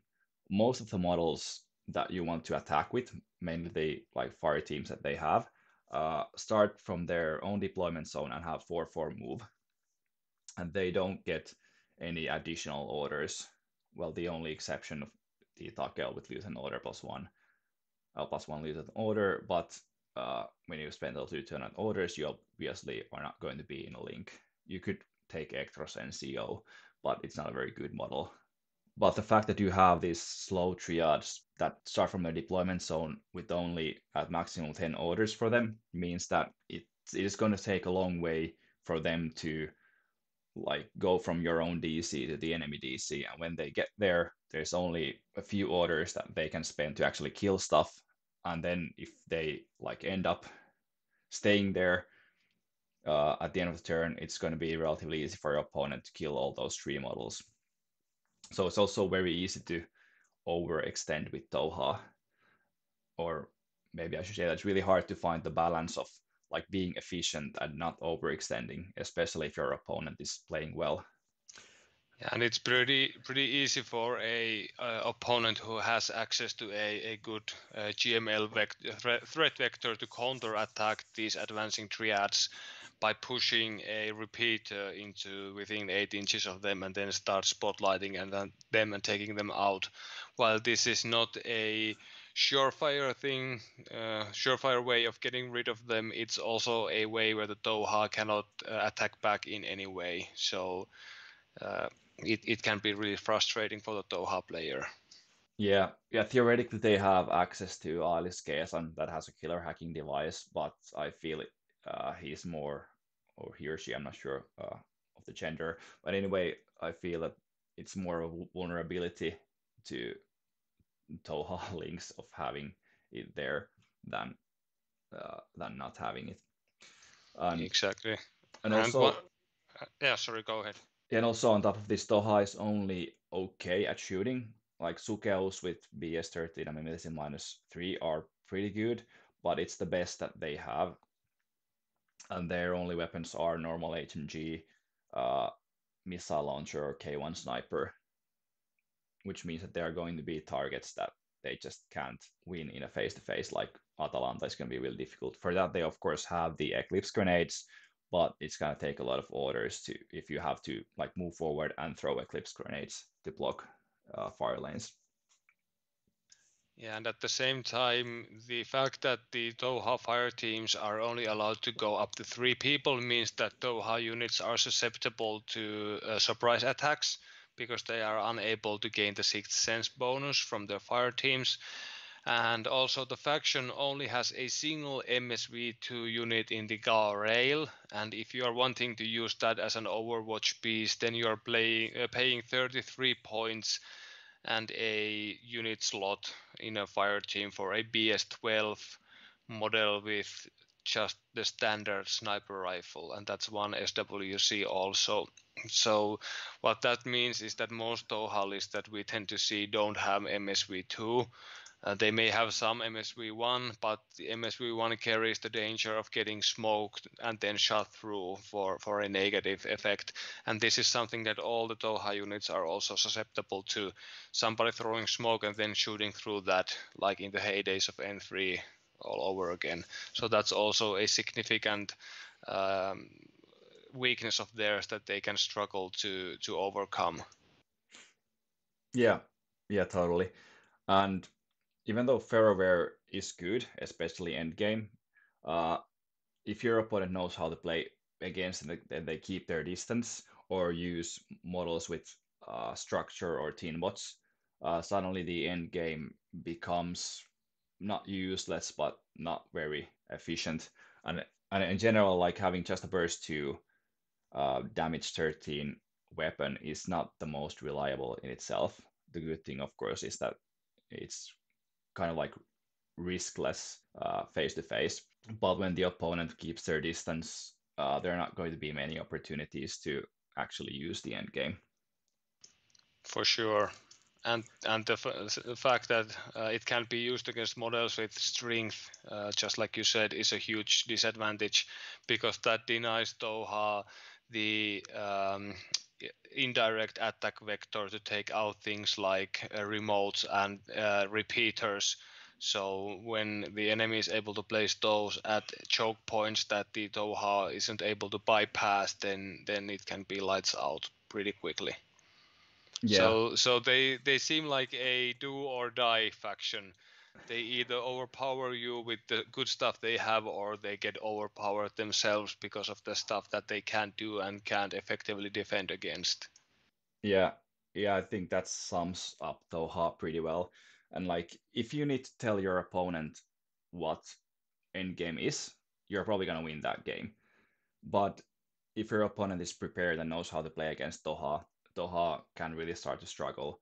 So I still have some games where I play up against opponents where uh, that have maybe not played N4 that much and don't or haven't faced Tohaa ever, and they play like this normal way of Infinity when they bring their troops in the midfield and hide them behind some buildings or uh, put them in suppressive fire, and, and I just take Taqeul there and kill them with endgame.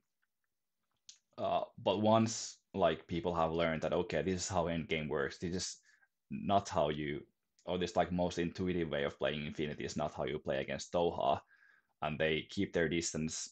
Uh, they maybe fire some pitchers, kill a couple of models, and stay in their own deployment zone. Let Tohaa come to them. Then Tohaa is really like they can't really use their own strengths in those kind of matchups.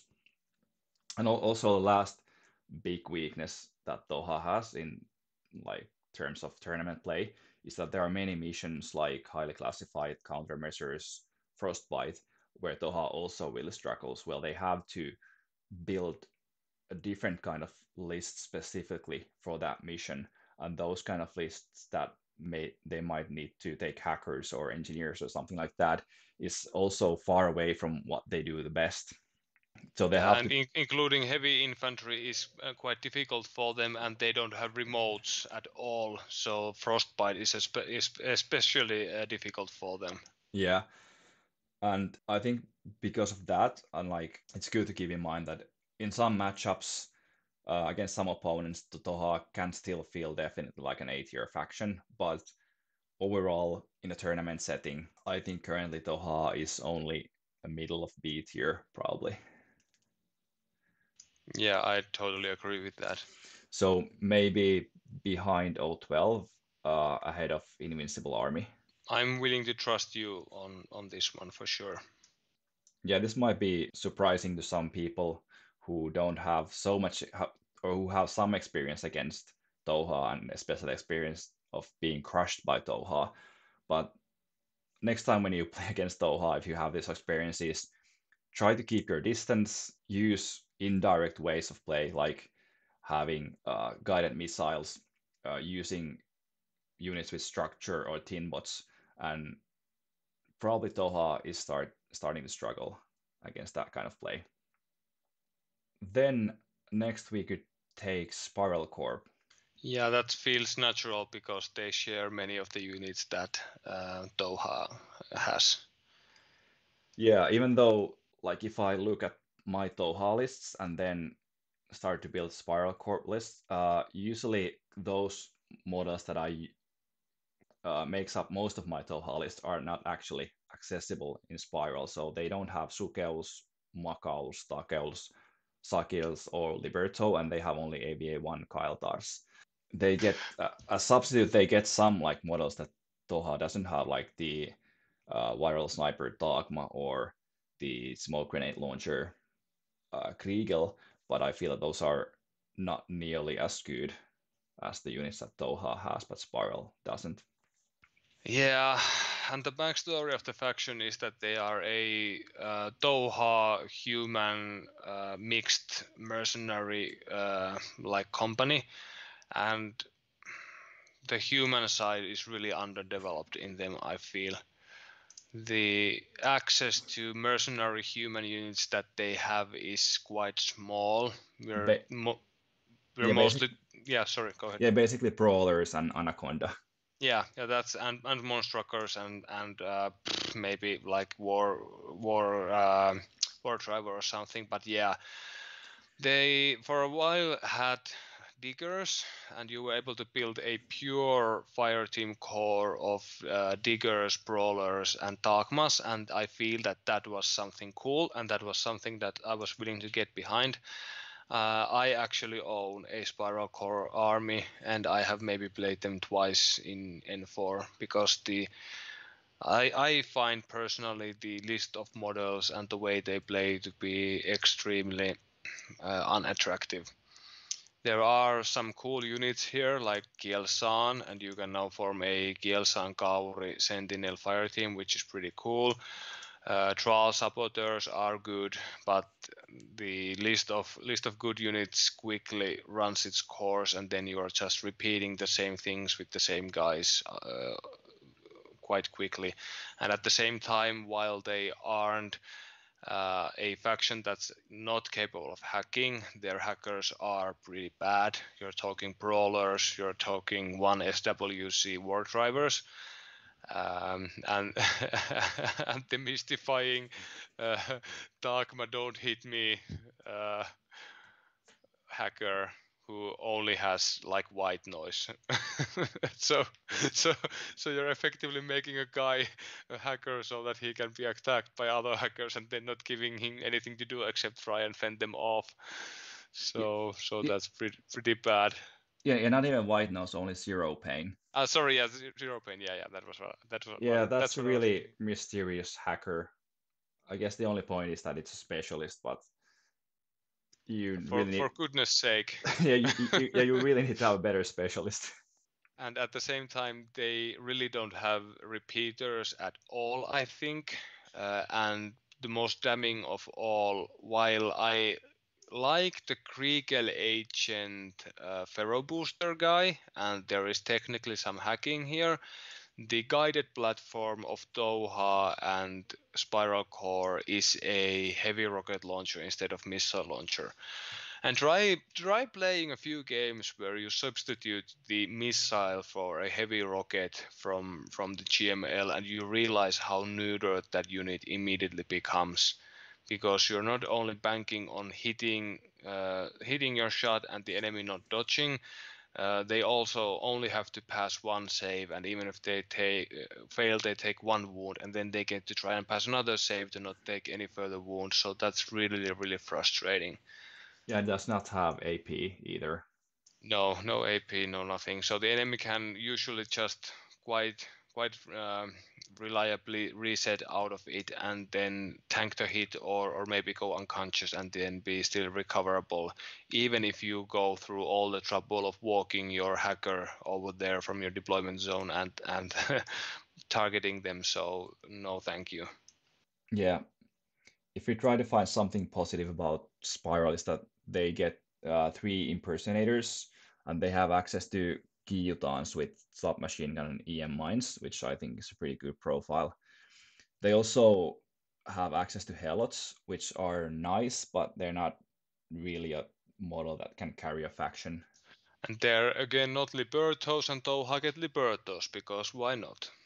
Yeah, of course. Although they get like three helots, Tohaa gets only one Liberto. But usually, like Liberto is both a defensive and an offensive model. Helots are only a defensive model, mostly, like we talked about in a previous episode. So I would not really compare Helots to Liberto. And one really big hit that the uh, Spiral Corps took in the Fireteam update was the fact that one of their unique selling points has been the Tagma Schemer uh, Tricore which basically means that you get full fire team bonuses, five man fire team bonuses, just from having a three man fire team. well, uh, import that into the modern way that fire teams work. So uh, if you put your Tagma into anything that's not a brawler, pure brawler core, which is basically just Tagmas and brawlers, nothing else, if you don't do that, you only get sixth sense and plus one BS from, from for your troubles. So you're paying, you're including a 20 point model with uh, 0.5 SWC cost to give one BS and sixth sense until you lose one guy from that fire team, and at that point you lose all the bonuses effectively. Yeah, that's so ah, uh, that's rough, man. Yeah, I think they should have changed the tri-core rule to give pure fire team bonuses. It still would, everything, yeah. Yeah, it still would, would not have made Spiral like in any way too good of a faction. No, no. Then you would be do, able to do something cool like having a full fire team bonus anaconda in a fire team. Yeah, that's that's yeah. cool. That that's mercenary there for you shooting left and right with the HMG and then po- popping out and using the the Spitfire uh, when the tag goes down. Anacondas aren't too good by any stretch of the imagination. So something like that. But they really, especially after losing pro um, diggers, they really do feel like they need some help. Yeah, I totally agree. So I guess we're talking about C tier and yeah, yeah, for low, sure. low C tier maybe just ahead of US Ariadna, or would you rate them higher than IS? No, I would not. So let's place them between US Ariadna and ISS. Yeah, let's do that. Next, we finally have the non-aligned armies, and we start with Druze. So for a long time, uh, Druze was the one of the worst factions in the game, uh, but now they are quite okay, I think. First of all, like if you really want to play an aggressive repeater game, uh, they have access both to Druze, who can form quite easily a pure uh, core fire team, and they have access to AVA2 Hunzakuts. So you're definitely going to have a way to deliver a repeater into your opponent's deployment zone. And on top of that, they have Valeria who can who is a WIP 14 hacker to support the hacking game. Yeah, for sure. And they also have uh, the highly um, aggressive PAN O remotes that can also be used to extend your repeater network uh, beyond the standard normal remotes everyone has. They also have bulleteers and peacemakers, which also give you the possibility of extending a hacking network through advancing with those models. Yeah, and what is actually really interesting in Druze is that they have AVA3 Pathfinders, which is great ah, during that. during this season. And I think this is really nice game design by CB that they're giving something unique to a faction that is not in any way overpowered, but still useful and makes it a bit more interesting to play them and give some like unique unique list building options. So in Druze, you definitely have a way to target your opponents. And also correct me if I'm wrong, but uh, Saito Togan has specialist operative profile in Druze, and I don't think that's accessible anywhere else. Yeah, I think you're correct. So I think Druze is the only one who has the specialist operative Saito Togan, which also makes Saito a lot more useful I have quite liked him even without specialist operative when running JSA. So being able to have him be a specialist for a mere point, I feel makes him pretty great.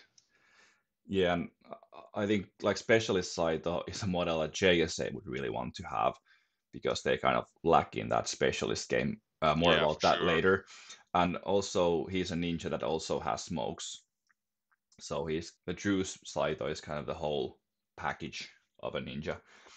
Uh, but other good things in Druze is that they have pretty good pure Druze fire teams uh, that don't even require an actual Druze. So they, they can use brawlers, diggers, and Druze, and also Ida Swanson. So I mean they're not overly strong fire team, but still like pretty good and versatile and relatively cheap fire teams. And they have also some like other good units like Scarface, Fiddler, and Armand. They also get bashes uh, with AVA4, so there's plenty of those guys. Um, Tao Wu and Motorized Bounty Hunters make an appearance here also. So I, I agree that they are better than their traditional faction narrative would have you believe. Uh, they do feel a bit um, bit on the uh, smaller side when it comes to a selection of troops that they can field. It's basically your your Druze and counts as Druze, uh, the aforementioned Hunzakuts, Yuan Yuans, remotes, a couple of tag options, and that's really it. There isn't really that much depth in, in the factions bench, uh, so to speak. That's not to say that they can play in different styles and, and perform uh, several different types of strategies inside a single list, but they may feel like a bit of a smaller faction uh, for you to play and collect them, I feel. Yeah, I agree. They they do have versatility, but they lack depth. So usually you always have to take the same options when you're building a list with Druze, although there's nothing wrong with those options uh, that they have. Besides that, I think they have two other weaknesses. One is their like lack of strong, uh, lack of like strong long range shooting. So they have some like decent uh, long range options like Scarface, the Druze or Brawler uh, fire teams, and Armand, but nothing really strong uh, that can deal with hard AROs. Although uh, they have the hacking game that they can deal with some really hard AROs like Atalanta or Pure Core linked Riot Girl missile launcher, etc. Uh, also the Druze don't take hits all that well.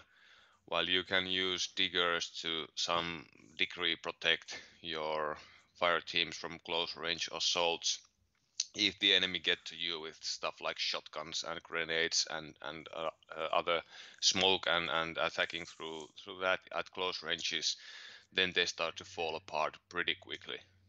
Yeah, that's the other weakness that Druze has that they lack durability.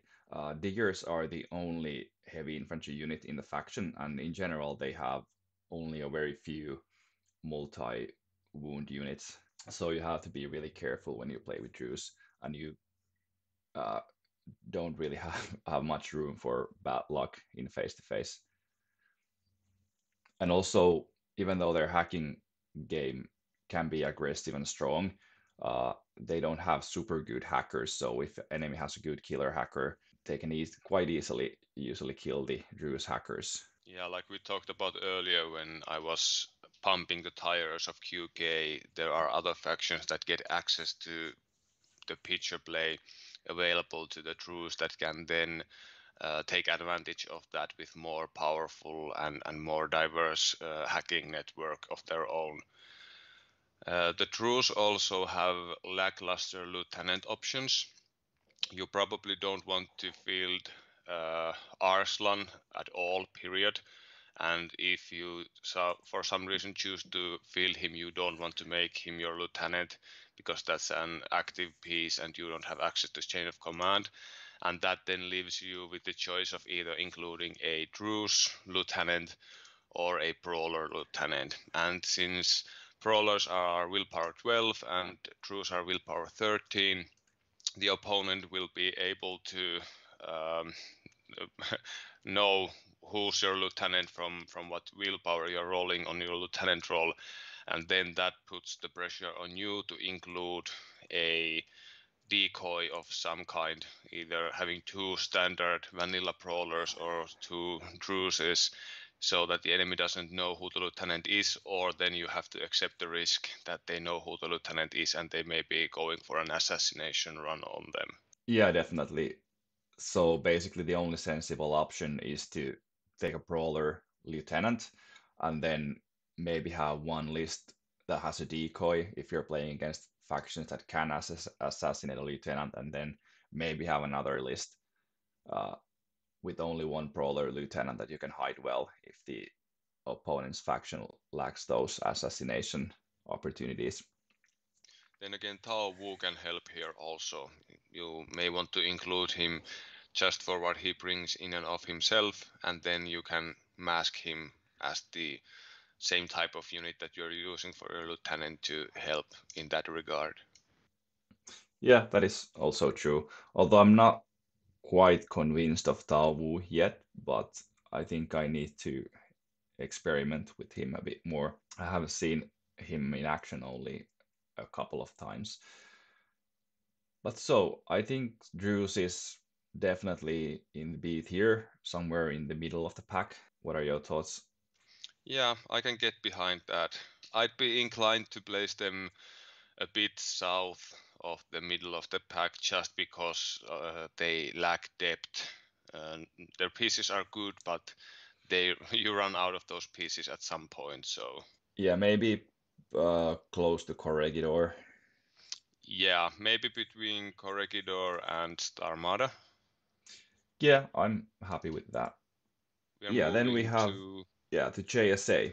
Uh, I'll let you take this one. You have much more experience on JSA. Okay, I I've been playing JSA for a past year on and off. Um, they are a truly intriguing faction. Uh, and the first thing that people say about JSA is that they have gorgeous models and, and that they are a beginner bait because of how cool they are, but also how difficult they are to play. Uh, I don't necessarily subscribe to that way of thinking wholly. Uh, they do have several characteristics and, and mechanics that make them play the game in a different way, uh, but that doesn't necessarily make them overly difficult. You just have to take their special abilities and make good use of them. They are a heavy infantry faction at their core. Um, Tankos are excellent and Domarus are just amazing. Um, the Domarus offer you uh, indirect attack vectors that are extremely difficult to defend against. First, pretty much all um, JSA heavy infantry units have stealth, if not all of them. So, with the way stealth works these days, a fire team of samurai can advance forward, and even if one of them, the team leader, activates to to shoot, for example, or strike someone in melee, that doesn't break the stealth of the rest of the guys. So if you have, let's say, three, four, five samurai advancing on the enemy, even if you have to sacrifice the stealth from the leader to make an attack, the others are still uh, free to move forward without getting hacked uh, unless there's a sixth sense hacker involved. So in that way, they can bypass some of the traditional counters to heavy infantry. Um, they dodge four inches and they are able to berserk eight inches after that. So you can effectively park your Domaru just outside of zone of control of the enemy are looking to engage, dodge with physic 14 into within 8 inches line of fire, and then berserk them. And there's absolutely nothing the enemy can do to stop you if they were, uh, unless they were able to see you on your on your uh, previous order. Um, also, they carry EM grenades that they can even speculatively attack with with 11s uh, within 8 inches. And with the way that template works when you uh, when you use in um, speculative attack is that you are able to actually affect models that are beyond 8 inches from you, which means that Domarus can speculative fire grenades at things like repeaters and remotes, carrying repeaters, so that they can clear the way for, for the rest of the uh, samurai to advance forward. So there's plenty of there to work with. Yeah, so you need to place the center of the template uh, within 8 inches if you want to have those uh, range band bonuses. But because you can measure your zone of control, you can put the center exactly uh, within 8 inches and then you the template reaches about 2 inches from there. So you basically have a bit over 10 inches of reach with your speculative grenades. Yeah, exactly. And if you are running several Domarus together, you can even do a coordinated attack by lobbing a bunch of EM grenades at people. So they, they are surprisingly good in that regard. Also, all the samurai, while they have low BTS, they have high physique, and if you punch them in a core, they get sixth sense, so they are quite difficult to um, smart missile or guided missile to death. Also, unless you punch them up real close to one another. While they lack tin bots, it's probably a good idea to bring an Evo hacker just for fairy dust, so that makes the whole whole group more difficult to hack. The traditional narrative is that JSA sucks at shooting, which I don't necessarily buy after playing them a bunch um, guys can brute force their way through a lot of stuff with either a burst 5 Red Fury with BS 13 or 14, depending on what type of fire team you are putting them in.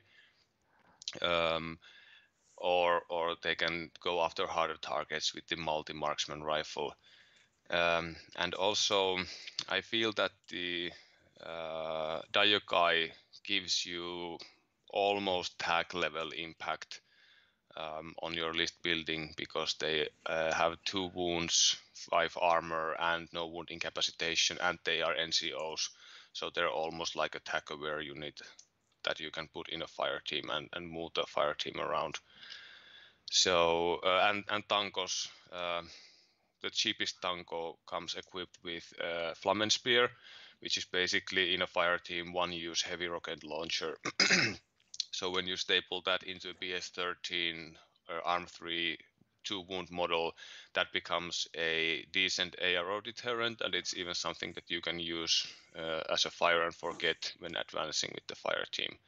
So I think the samurai really prop up the faction and, and make them make them uh, better than their reputation is in that regard. Then on the negative side, I do feel that the ninjas are unfortunately overpriced uh, and underdeveloped for what they do.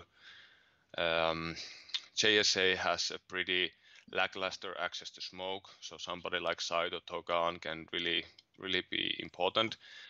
Uh, and I have had some really good results with the Ninja Forward Observer, but I feel that Oniwabans um, and some of the other ninjas are uh, too expensive and too easy to counter with stuff like mines and template weapons for, for what they bring you. Also, JSA specialists are a bit lackluster.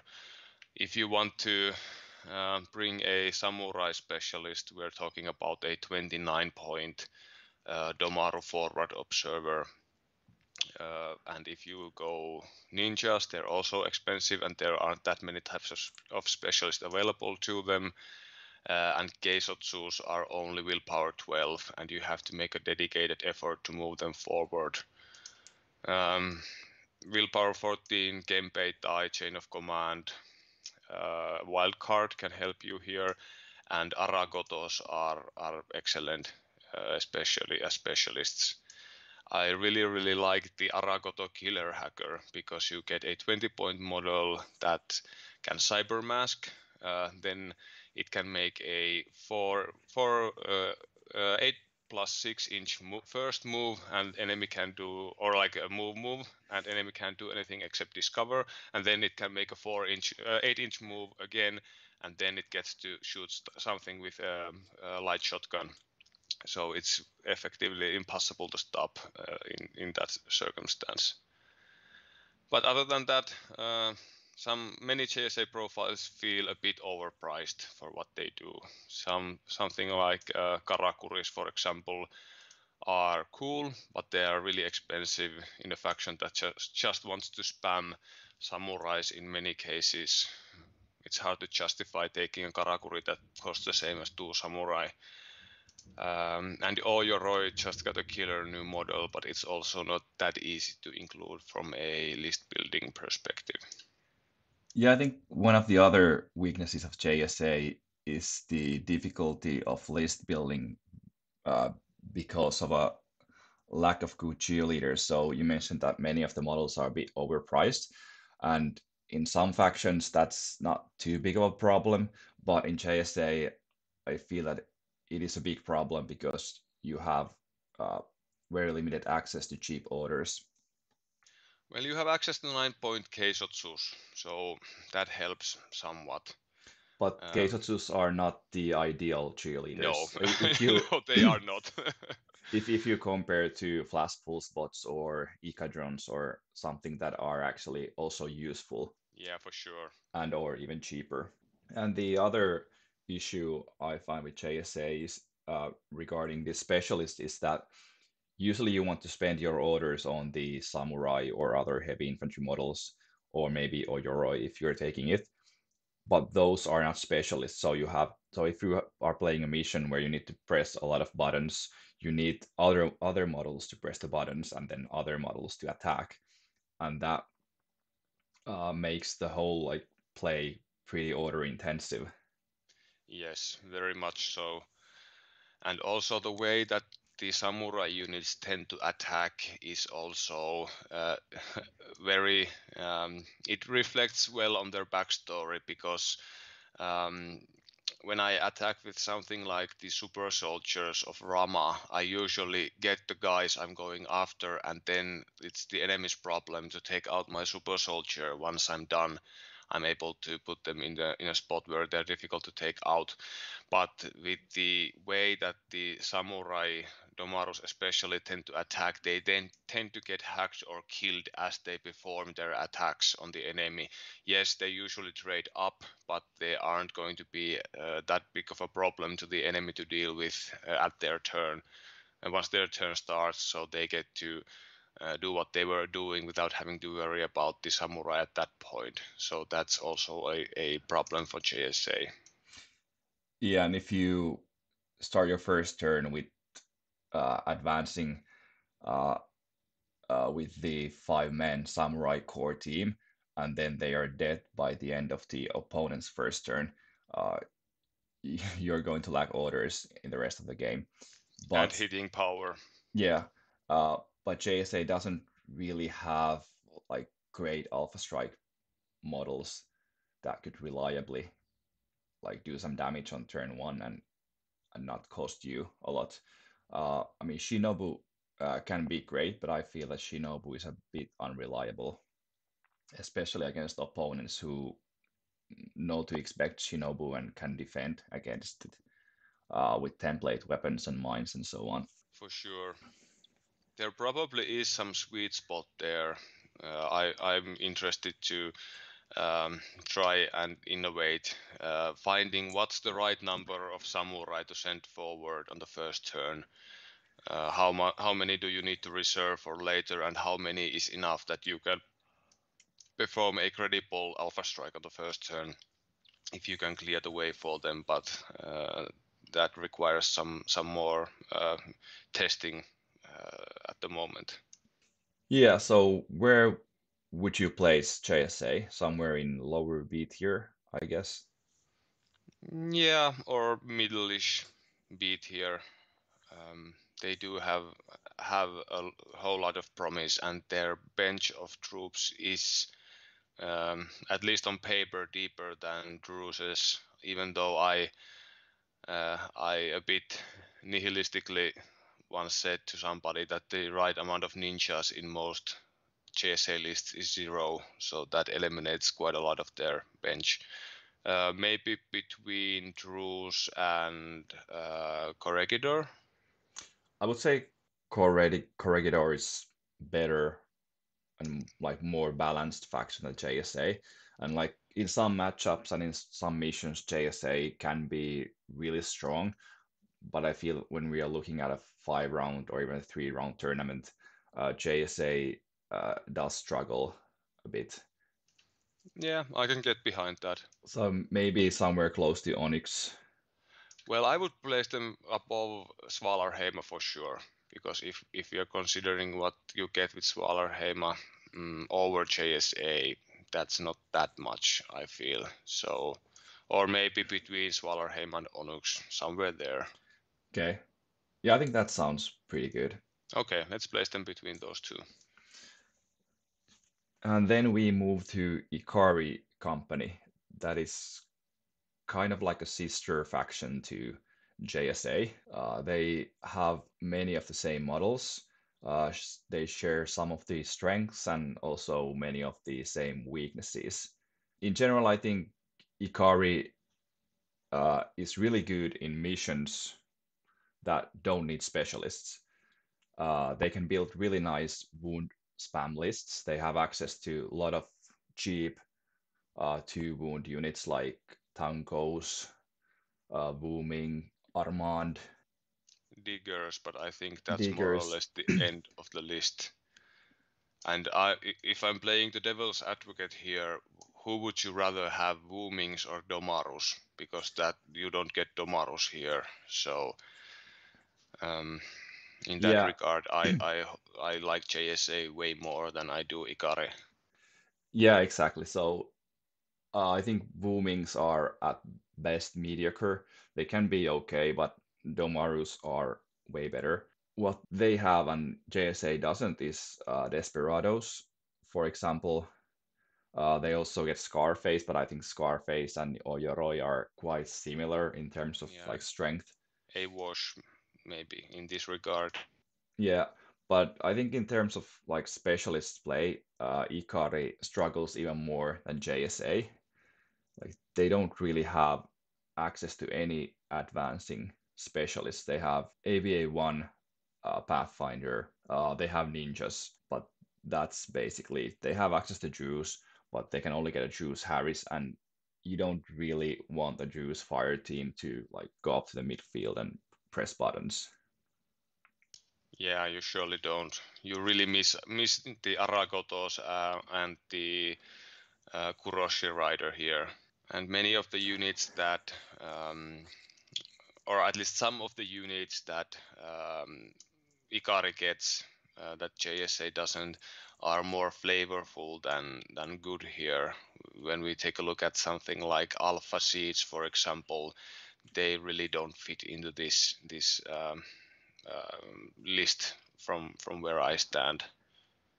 Yeah, they're another two wound model that Ikari has enough, but they have better or cheaper two wound models than Alpha Seed. And Alpha Seed doesn't fire a team in this sectorial, I think. Yeah, I'm not sure if you can get a duo with Alpha Seed. Probably not even that. No, it doesn't look like that. Yeah. Uh, one of the selling points of Ikari used to be that you could include a Tanko missile launcher in a Keisotsu Link, and you can still do that, but they are not a pure fire team anymore. And then the unique selling point of that starts to like suffer because well, BS14 uh, missile launcher is still okay, but it's not that great. And I'm not sure if that's the like core fire team that you want to have, and whether you want to really have four Keisotsus in your list. Yeah, and I, I personally don't rate the Tanko missile launcher in and of itself very highly because the selling point of getting Tankos is that it's is that they are uh, heavy infantry priced as light infantry, and when you upgrade to the missile launcher, you also in, uh, increase your points cost to to almost 30 points. So you kind of lose lose what the Tankos are in in my mind. Yeah, that is also true. So in in some matchups, uh, in some missions against some opponents, I think Ikari can be a really strong faction.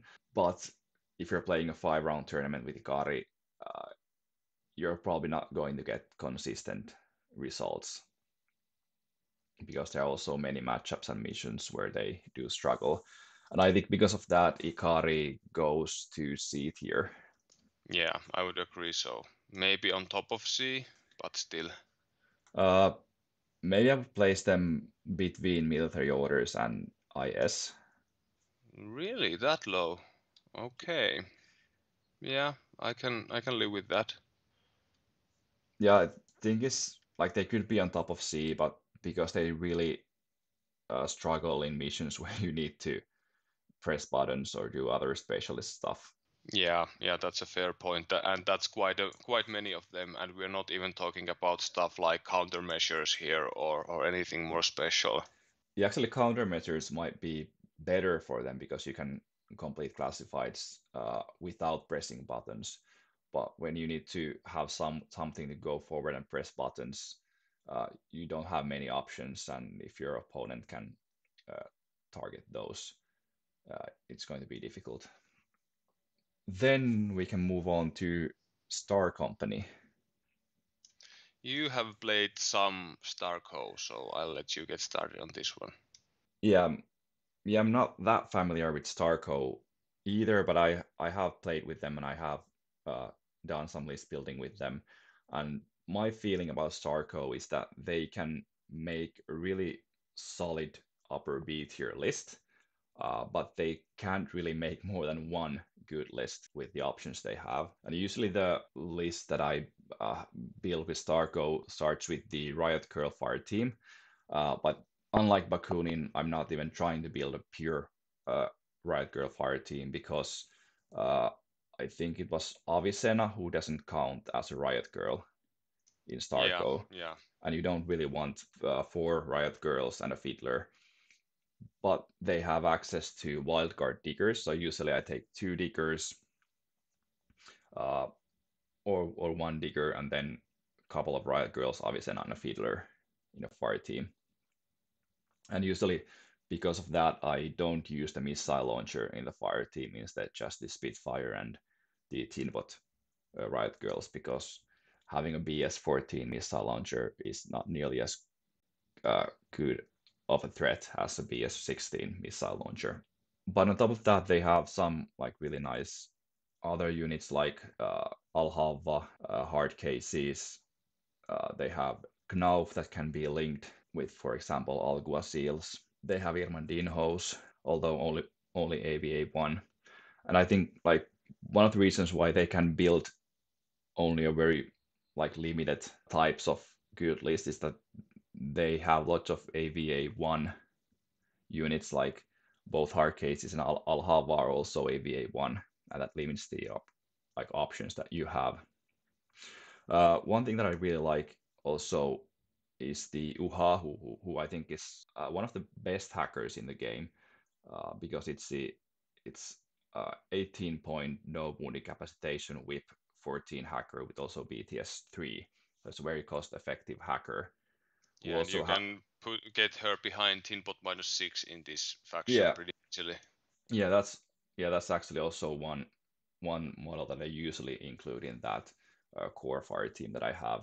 But then there are not that many other options that you actually have in in Starco. Yeah, it, it used to be that um, getting full core fire team bonuses with uh, Knauf or Emily Handelman was pretty terrifying. But now that you are unable to achieve either, in the case of um, Knauf, in not under any, yeah, and Emily also, they they don't have any tags um, for any unit type, so you will never get pure fire team bonuses with those guys. so that that has impacted uh, the power of this faction if if not the if not the list building diversity uh, in in a problematic way and also the starco does feel like your first generation mercenary faction in that the selection of troops it has available is uh, rather conservative when we uh, compare this to something like Dahshat that we're going to talk about soon. Yeah, I think Starco used to be Emily, the faction, but now without the pure fire team access to Emily, uh, I don't find Emily that useful anymore. And I don't think now actually was linkable before, so I think that's actually new for them. Ah, okay. Uh, they also have a bit of a similar lieutenant problem as Corregidor, so they get Alguacil lieutenant for one SWC. Although fortunately, they also have access to brawler lieutenants, which usually uh, is Where no, do you no, that phrase? yeah, it's nowhere near the best lieutenant option there is, but that gives you the opportunity to have a 15 point uh, zero SWC lieutenant. Thank goodness for a 15 point willpower 12 lieutenant. Phew. Yeah, and I find that uh, I often have to take that brawler lieutenant because uh, otherwise I don't I don't have the SWCs to bring uh, the GML package and a couple of heavy weapons into my list, with also some hacking. Also, like one kind of a cool thing that Starco can do, and I, I don't think if it's only a meme or if it can actually work. I haven't ever tried this, but they could have a Haris fire team with Anaconda, Trip Hammer, and an Irmandinho. Goodness gracious. Yeah, two mediocre tags, uh, but in a Haris they are a bit better, and then they have an engineer. The problem there is them. that the engineer really can't help the anaconda because once the anaconda takes two wounds, it goes, uh, the pilot goes pop. But now that we're looking at that list, they could include a mobile brigada there. So how about anaconda, trip hammer, and mobile brigada hacker with tinbot minus six? Ah, Yeah, that actually could also work. You don't necessarily need the engineer if you have Tinbot minus six firewall there. Yeah, I have And to experiment with that plus- as well. yeah, you get get the minus six and you get the um, BTS. Yeah, I yeah that that seems something that might be worth trying out. Yeah, and they do have access to some cheap models, so they can actually afford that kind of a ex expensive Haris team. Yeah, I need to experiment experiment with that. It could be just a meme, but it could also work, at least in some matchups. Uh, but overall, I think Starco belongs in the B tier, definitely somewhere in the middle of B tier. And I would probably place them uh, between Corregidor and Svalarheima. Yeah, I'm I can live with that. And then we go to Foreign Company. This is a faction that you uh, played and list built in a recent league of ours. So how do you feel about them?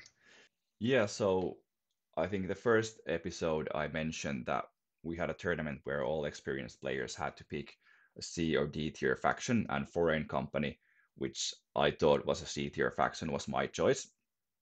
And after uh, list building with them, uh, trying four different lists in four different games, uh, I do think Foreign Company is actually better than C tier for sure.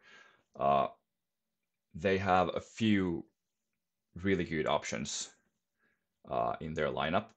Uh, they have good links. So first of all, they have bolts, and I think Foreign Company is the faction where bolts are actually useful because you can build good links around them. Unlike in NCA, I think uh, the bolt links are not that good because you have to use mostly only bolts or then Yeah, take a we- bull- bullet here we're- that don't really synergize that well with bolts. Yeah, we're we're again on on the uh, military order syndrome part of part of this tier list. That something that's technically home to some other sectorial is uh, actually better here than than in its home sectorial in a way. Yeah, and uh, they have really flexible links. So, and access to really good models that you can inc- include in those links. So they have Valkyrie and Señor Massacre, who are both really good uh, close combat or close range uh, models. They have Laxmi, uh, who is a pretty good hacker. They have Avicenna, who is a great doctor. Uh, they can also include orcs there if you need more heavy weapons, although I prefer bolts. Also, the orc tinbot uh, with boarding shotgun gives some robustness to those links and is great with uh, combining with Laxmi and giving uh, Laxmi that uh, tinbot. And usually you can like take maybe six or seven of those models that I just mentioned, and then when the game begins, you can decide what kind of links you want to build with them. So you can go with uh, one farm, uh, five uh, person link, or you could do like two, three person links, or three and a four person link, and then adjust them uh, during the game. Yeah, that's a pretty big strength uh, of a faction when you can do that because that allows you to tailor your approach to the table and the opponent and the scenario on the fly without having to prepare a specific list for that situation and and that kind of um, fluidness in, in what you can do is, is extremely powerful in modern infinity. Yeah uh, usually my preferred way is to take two bolt snipers in a list.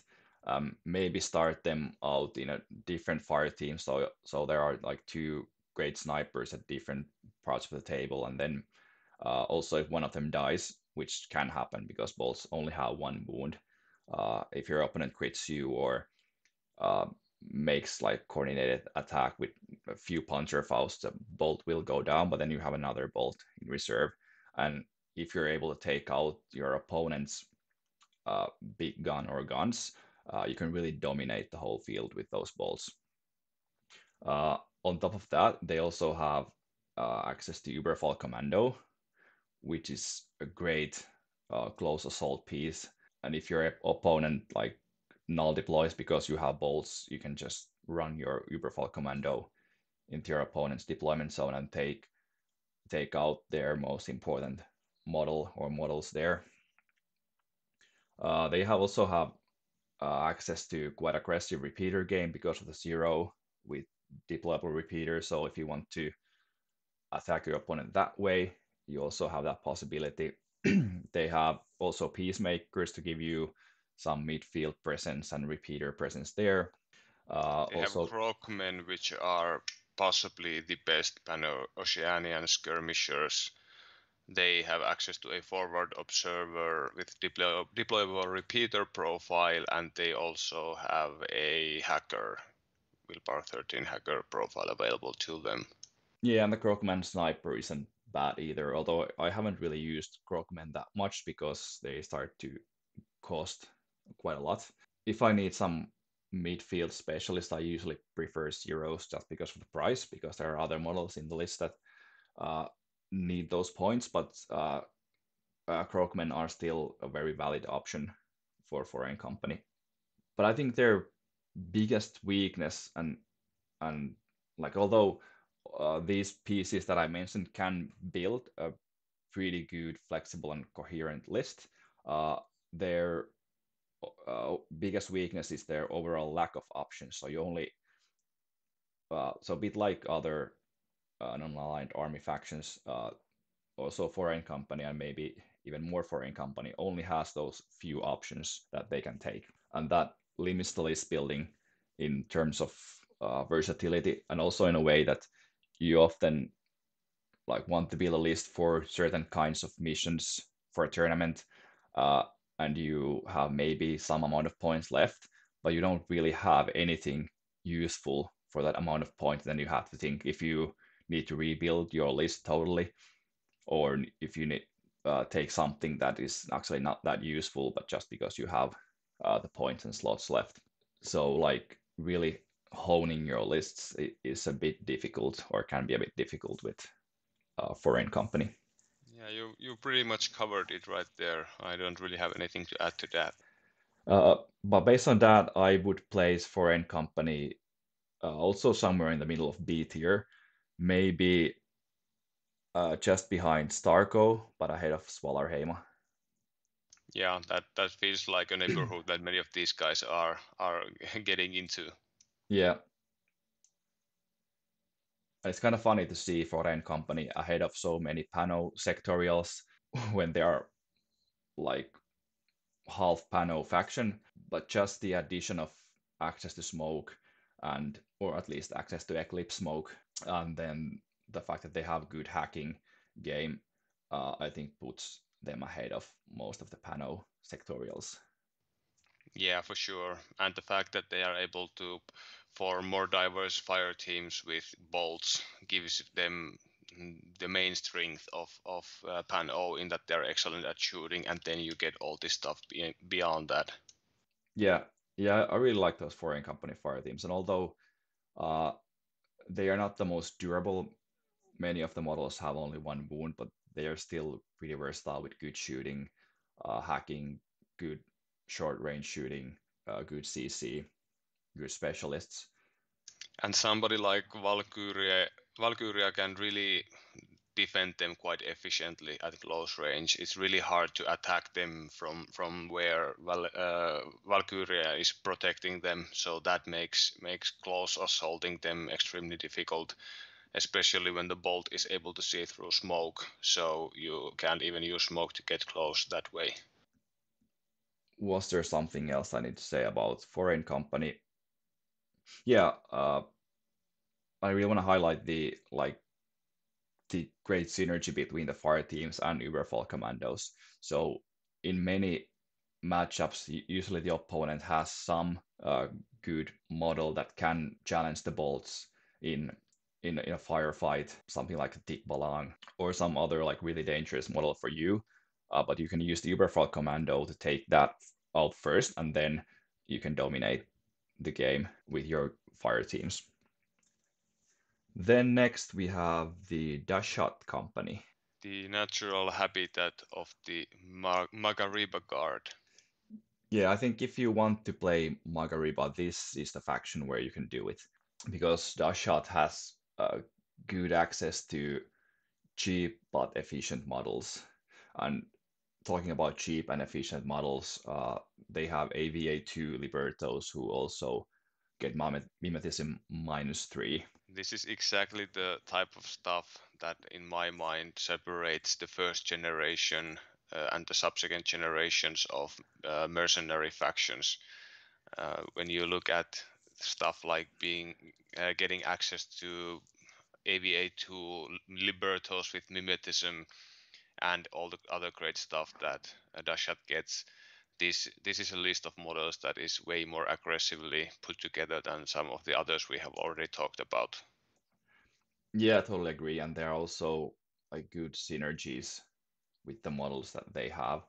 So I really like the mind games that you can play with having two uh, mimetism minus three libertos and a Hunzakut and maybe even a Sencha. So you have four. You can really clock up the midfield, and, yeah. and all those camos uh, are a bit different when it comes to how they are dangerous to you and how they can attack you and what you need to engage them with in order to effectively take them out. Yeah, exactly. So you could have four to six camos in a mid- in midfield, and when one of those camos starts to advance towards you, uh, do you discover or not? If it's a Liberto, you want to discover and not let it get close. But if it's a Hunzakut, it can just forward observe you, and then there's a missile coming. And also defensively, like if you want to leave those Libertos standing up, uh, you cannot distinguish between Liberto and a mine anymore, or a Hunzakut and a mine. Yeah, exactly. And those are still uh, cheap enough pieces that while the Libert Libertos eat up your SWC quite quickly, you can still include stuff like the set Magariba Guard, um, use some excellent Ghulam specialist and lieutenant profiles in order to get high willpower and and the uh, moderate cost from from those parts of your list. Uh, you get access to Kum bikers, um, which are excellent uh, biker war bands. Uh, you have Mac- McMurrough here, um, Valeria makes an appearance. and you even if you are so inclined you have access to uh, stuff like Zuyong Invincibles and Hulang Shock Troopers uh, that can really give some some staying power and, and some brute force to uh, this faction. Yeah, and unlike many other non-aligned armies, uh, Dahshat has pretty good lieutenant options or lieutenant option in the uh, Ghulams, who are cheap willpower 14 models, and they also have the lieutenant plus one command token profile that is really useful in Dahshat, where you are likely to include many irregular models. And in many factions, when you're list building, your foremost restrictor on what you can include is the amount of points. In some factions is the amount of SWC, but in Dahshat it can easily become the amount of models uh, you have access to, or, or like the 50 model cap, because you are able to get so many great cheap pieces that you need to spend those points somewhere. So for example, paying those four points for that extra command token is way more viable here than it is in, for example, in Ramah Task Force. Yeah, and it's still useful in Dahshat. Uh, yeah, you mentioned cheap orders, so they also have access to AVA3 flash pool spots, although usually you're, you have filled up all your troop slots before you even get to the flash pull spots. They also, and of course, five point regular Traktor Muls if you are really for points. Yeah, and you also have access to the best uh, FO bot Rafiq in the game if you want that. And and I do like the link options that Dahshat has, and uh, in similar way as other non-aligned armies, uh, you don't really need to build a pure fire teams but you can still build an efficient and relatively cost-effective core fire team with them. Uh, for example, you can have a Zuyong core with HMG and the Tinbot Zuyongs, then put Valeria there behind the Tinbot minus six, and then have two diggers in the fire team as well. Or if yeah, you that's want, pretty terrifying and quite uh, uh, not that expensive either. Yeah, so there is Burst five, BS fourteen, uh, HMG. The fire team has with uh, 14 hacker behind a team but minus six. Uh, diggers are cheap and provide some like protection from anyone who is uh, coming close. And they might even roll something important or, or useful from uh, their booty rolls. Yeah. And you also have two extra orders for that fire team. Uh, then if you want, you could also build a pure brawler digger fire team. Although I think uh, Druze is more of a home for that kind of fire team, but that's that's an option you have also in Dahshat. And then you can also build some like nice supportive fire teams with Ghulams with the NCO smoke grenade launcher, uh, Ghulam Doctor who uh, can benefit from the Haris fire team and fire uh, burst 2 medikits for those Zuyongs, for example. you can maybe have the Ghulam lieutenant in the fire team if you need someone to fill it up, or you can take a Ghulam hacker there. So I, I think uh, Dahshat is overall a pretty well-rounded uh, non-aligned army faction. Uh, they do have some weaknesses though. Uh, they don't have any killer hackers, which isn't necessarily a big problem, but it can be a problem, or at least it's a limitation. Um, also, without Maggie, and they don't usually want to include Maggie in every list. And if you don't have Maggie, you don't really have any AP weapons in your list besides the missile bot if you're taking it. Yeah, for sure. Uh, and Maggie, in and of of herself, um, is counterable. And and when the enemy knows that your uh, AP prowess is coming from either missiles or Maggie, that's something that they can truly prepare for. Obviously, you can um, imitate the the um, power of of uh, AP weapons or AP ranged weapons with some close range solutions like Magmoro, for example, but that's uh, order uh, ineffective in many cases. Yeah, that's true. And yeah, lastly, they also have access to Fiddler, who is another great model. And in many other factions you struggle to find the points for Fiddler, but in Dahshat you usually do have the points to include Fiddler if you want to provide another good attack threat to the list. Although at some point uh, a Dahshat list probably runs into a situation where it has so many order hungry offensive minded models that it can make the best use out of all of them or many of them. Uh, and while the fact that you have diversity and you have options is always good uh, you do get diminishing rates of return at some point. So probably at some point you have to say okay now i have enough uh, models that want to go forward and engage uh, the enemy at close ranges and now I need to include something else even though I still haven't included these excellent offensive pieces that I could take. Yeah, that is a really good point and that's like one weakness or downside that you have with Dahshat that you don't have any super good models that are happy to like spend all your orders. Instead you have a lot of pretty good order hungry models, but you don't have orders for all of those. And then you might have to find some like less good or less optimal options that can do the same kind of task with less amount of orders, like maybe taking Sencha instead of Fiddler. But overall, I think uh, Dahshat is one of the better non-allied army factions. So sure. definitely in B tier. Where would and you I'd place be willing to put them close to the top or top part of B tier. Uh, better than Tohaa or Invincible Army? Yeah, I'd, I'd go as far. Maybe mm, up there with O12, maybe behind.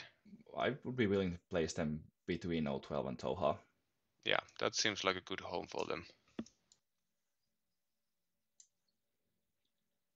Then finally, the last faction, White Company. This is something that neither of us, I think, have played all that much, but Uh, it, it's some. Or have you played White Company? I used to play White Company quite a lot in the beginning of N4, but I haven't Ah, really okay. played them for uh, two years. Uh, but I have played against White Company uh, also quite a lot. And I think one friend of ours uh, put it quite well when he said that uh, White Company is what Pano should be like. Yeah, that's pretty well put. So they're a more modern faction than Pano, obviously. Uh, and they don't have those really restricting limitations that Pano has. Uh, mostly they do have access to smoke and they have some like pretty decent hacking as well, which I feel uh, makes no sense that Pano doesn't have access to these things.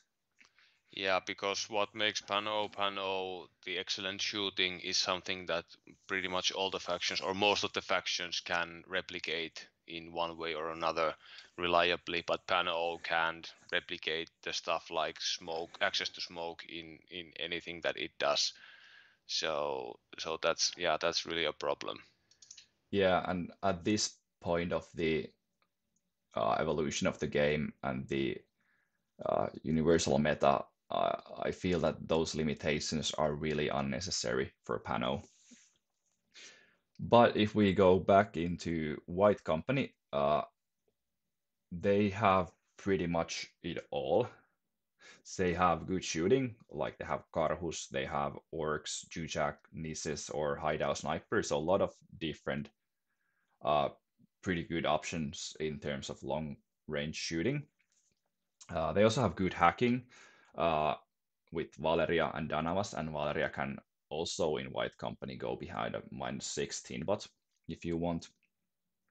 Uh, they also have access to decent repeater game with their uh, Pano remotes and the uh, Guilang uh, deployable repeater. and Guilangs are also really good specialists. So uh, with the Pathfinders and Guilangs, they have a pretty good specialist game. Uh, they have decent warbands. I don't think Varangians are uh, great, but they are decent, and they bring the smoke to the faction and some additional like protection. And I think this is something that like Pano should also have like I mean Pano doesn't have to be the warband faction, but having access to some Varangian guard like model that is uh, still decent at doing the job, even though not the best or the most optimal profile in the game.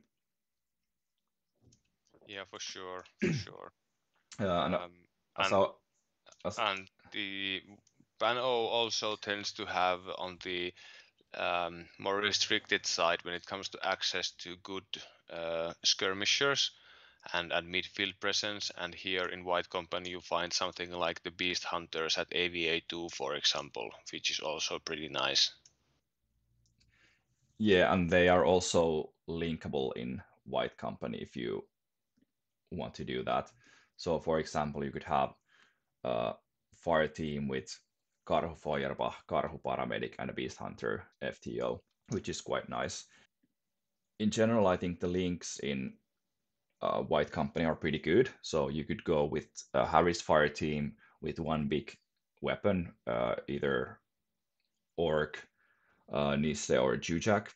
Then have the Jujak with Tinbot and then a hacker, either Haida or Valeria in the link. Or you could go a full unpure core fire team with many different options like uh, also Liang Kai in addition to those other models. Yeah, you can really get a tasty fruit salad with this this faction. You can really uh, accommodate pretty much whatever tactical capabilities you want out of your core by including these different types of models that you get there. And uh, as we see here, um, diversity in in modern world is is the key when so many factions don't get access to good pure fire teams the ones that are able to form uh, really excellent and diverse unpure fire teams are are really really uh, good good factions in that regard in isn't isn't it saying something like on the island of the blind the man with one eye is the king yeah, and also as I mentioned before, they have access to good remotes as well. So they have pretty much like everything you need in a good faction. I would say the maybe the like only major weakness uh, in White Company, if you compare them to A and S tier factions, is that they don't have any overpowered or super good units. So in that sense, they are a bit like vanilla O12, uh, except that they are just a bit more flexible due to the presence of link teams. Yeah, for sure. So, how would we rate them then? Uh, I would rate them at the top of B tier ahead of QK. Yeah, I, I can get behind that. I could even put them at the bottom of A tier, but yeah, top of B is okay with me. Yeah, I think the like lack of super good models that all A tier factions have puts them, you know, just at the top of B tier. But, but then again, they are way more diverse in what they can do, and they are more fast moving than Morats. So, so I do yeah, that think is that also they... true. I think they're very close to Morats, and we could even place Morats in the top of B tier as well. Should we go to the conclusions then? Now that we have placed every faction into our tier list. Yes, it, it seems we have we have uh, completed our labor of, of, of love here, and, and now the list itself is complete. How does it look to you? Uh, it pretty much resembles the list that I was expecting us to make. Uh, I'm quite surprised that QK is uh, up there at the top of B tier. I would have not placed them there myself. Uh, I find a bit hard to believe that it's there, but I can't really refute that either. So I, I let it stay there.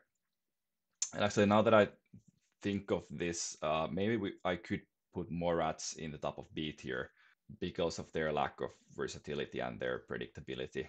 Yeah, I would be fine with that let's let's slot them a bit bit down. So yeah, do you find any other like injustices or incorrect decisions that we have made when you're looking at this list? Well, my main problem is with Vanilla Pan Oceania. I feel that um, we have consistently talked about the stuff that Pan O lacks and the stuff that it can't do, and still we have Vanilla Pan O so high. So that's maybe my only problem at the moment. Yeah, I'd still be willing to place Vanilla Pan O there because their huge versatility uh, in terms of options that they have, and also their good far team duos, uh, they can, I think, overcome those limitations that Pano has or to go around them. So I'd be I'd be willing to put Pano there. Okay, then we'll leave it as is. Um, when you look at the list we have created, do you have any observations or or um, thoughts that you want to put out there? Yeah, there are some uh, thoughts. So first of all, I think well, it's clearly visible that most of the factions, probably about half of the factions, are in B tier, uh, which I think is pretty nice. And I think those B tier factions are very close to each other. And in general, I think that like the bottom of A tier is close to the top uh, top of uh, B tier, so there are not a huge difference in terms of power between the factions. Uh, but in B tier, you could take uh, like five factions that are next to each other, and it's really hard to say which one of those factions is the best and which one of those is the worst. Yeah, I, I really feel that when you make take a grouping like that, excluding the S tier uh, factions, you, you can really argue for them to be placed in, in another order also. And we come into a situation where the meta of a tournament or a local meta and the skill difference, even small skill differences between pe- people, players, make the difference in in what we can expect an outcome of a game or a tournament to be and that's pretty great that game is at, at such a point yeah and when i look at the b tier even though the factions are really close to each other but if i compare to uh, compare Morats and White Company to let's say NCA and uh, Caledonia, there starts to be a quite big difference. So in a way, yeah, I think sure. B tier could also be divided into kind of like upper and lower B tier, and like somewhere or somewhere close to Acontecimiento, I think there is a bit of a like change that factions are starting to get worse compared to the upper B tier factions. Yeah, I totally agree. Maybe somewhere, for example, between Starmada and Rouge, but yeah, there is a dropped mark off there uh, where where factions become uh, weaker for sure. But let's say a faction um, from Starmada up wins a tournament, neither of us is going to be surprised by that, right? Yeah, I think it's definitely possible to win a tournament with any of the B tier factions. Maybe I'll be slightly surprised if a player wins the tournament with NCA or Caledonia. And like, of course, you can win a tournament with C or even D tier factions, but when I look at the C tier factions, uh, if you're not by far the best player in the tournament, uh, it's going to be difficult to win with a C tier faction. Yeah, and I but, for sure want to see the lists of, of the player who wins with something like, let's say, US Ariadna. Yeah, and probably also the list of their opponents. Yeah, yeah, that too. Because another observation that I made looking at this is the fact that the vanilla factions tend to be rated quite high.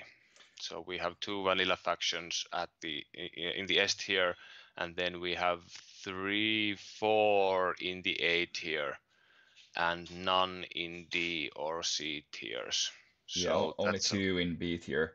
Yeah. Yeah, I think the overall consensus has been, especially after the fire team update, that vanilla factions are currently better than the sectorials. It's nice to see a couple of sectorials also in A tier but I do agree with the overall view that vanilla factions are currently better on average than B tier factions. It'll be really interesting to see how the reinforcement mechanic affects the meta and, and this. I would imagine that this isn't something that has gone unnoticed by the CB, and I would imagine that part of the reason behind the whole reinforcements thing is that they are looking to to improve the sectorials when compared to the vanilla factions. The fact that we are starting to see um, units and profiles in, in larger numbers that are only accessible in sectorials um, also I think signals that CB is aware of the situation. Yeah, I'm like cautiously optimistic about that, and I and I do think some small adjustments are necessary if they want to keep the game balanced. Also, one other thing that I was thinking about is that when you're looking at this tier list and maybe you're playing with a low B tier or C tier faction against an upper B tier faction, it doesn't mean that the upper B tier faction is uh, more likely to win necessarily or has necessarily the edge against the lower uh, faction because Infinity has a small amount of rock paper scissors dynamic. So certain type of factions are better against some factions than others and better in certain missions than others or certain kind of tables, which I think also makes the game interesting. Yeah, for sure, for sure, and I totally agree agree with that. So there are like some upper B tier factions who can really struggle against Caledonia or Shasvastii, for example. And some missions that are difficult for some factions that are maybe rated higher than a lower rated uh, companion of theirs on this list. Yeah.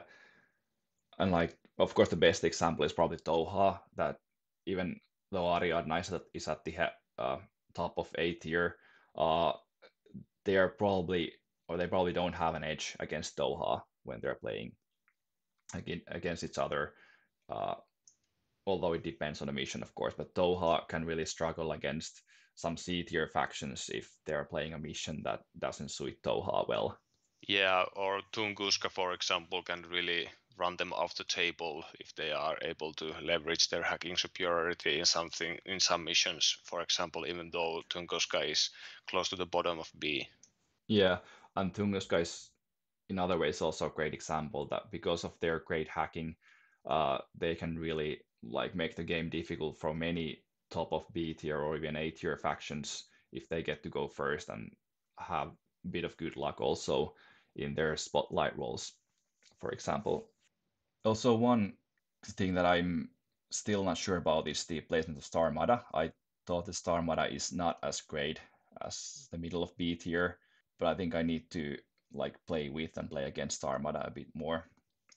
Yeah, the jury is probably still out on that one. So, but I would imagine we are going to visit this subject at some point after the reinforcements uh, rules have come out. So that'll be our next chance to place them someplace else. Yeah, I believe that we will do some kind of a faction analysis or tier list video after the reinforcements rule rules have been out uh, for a little while. Uh, we have had time to study those rules and how they affect the game. Uh, sure. One one last note that I have of the list that we have created here is the fact that while it does have many similarities to how many others have set up their tier lists or how the factions are talked about, I'm also uh, happy that we didn't follow in every case the the uh, faction narrative that is mainly out there, and we put some factions higher, let's say for example QK higher than some others might have put them, and some uh, factions lower, like for example Doha. Yeah. So you everybody at home, stay critical. Uh, let us know where we went wrong, and and challenge our our conception of of how the situation is, and uh, also that of of how others see the current meta of the game. And also, if you want to know more or hear more uh, explanations why we have thought some faction is somewhere, or why we haven't talked about a certain unit, and so on, let us know in the comments. And maybe last comment from me uh, about the tier list and overall state of the game. I think that there is a bit of a distinction between the S tier, A tier, and B tier factions, and I've noticed that many good players, especially in satellite tournaments and other like bigger tournaments, are currently playing A or S tier factions, and I think uh, that's probably not the like best thing for the game. That many good players feel the pressure that they need to play a faction that is, even though maybe not by much, but still clearly better than most of the factions in the game, if they want to have a good chance of winning tournaments. Yeah, I can I can uh, get behind that thought uh, from a competitive standpoint. Sure. And although Infinity is quite well balanced game, at least what I've heard, uh, compared to many other war games, in the like past few years, the A tier and S tier factions I think have gotten even better compared to other factions that are B, C, or D tier and I, yeah, I, I, that I can really feel frustrating for for you when you're trying to improve at the game and become the best best you can be, and then when you you uh, run into a situation where even when you objectively dissect what happened and you go, I I played right, I played better than the other guy, but they were able to to beat me uh, because this and that, and the and the end result was that their units were just that much stronger. Not not a bit stronger enough stronger that even though you outplayed them you were unable to to get uh, get the victory. And that's really not the place where you want to be at. Yeah so i do hope the reinforcement rules will balance the game a bit. But we'll wait for the reinforcement rules and let's see what they do to the game yeah, I'm really excited to see where Infinity goes next. Yeah, uh, so Grotnib, thanks a lot for doing this with me. Uh, this took a few hours, but I think it was worth it. Uh, I hope listeners also feel that it was worth it, worth their time to go through all this. thank you, Panda, for inviting me. This was this was a nice experience. I think we have also learned something and thanks for everybody for listening. And let's hope we can do this again and be even better at this the next time around. Yeah, and thanks all for your comments so far. See you next time. Thanks. Bye. Bye.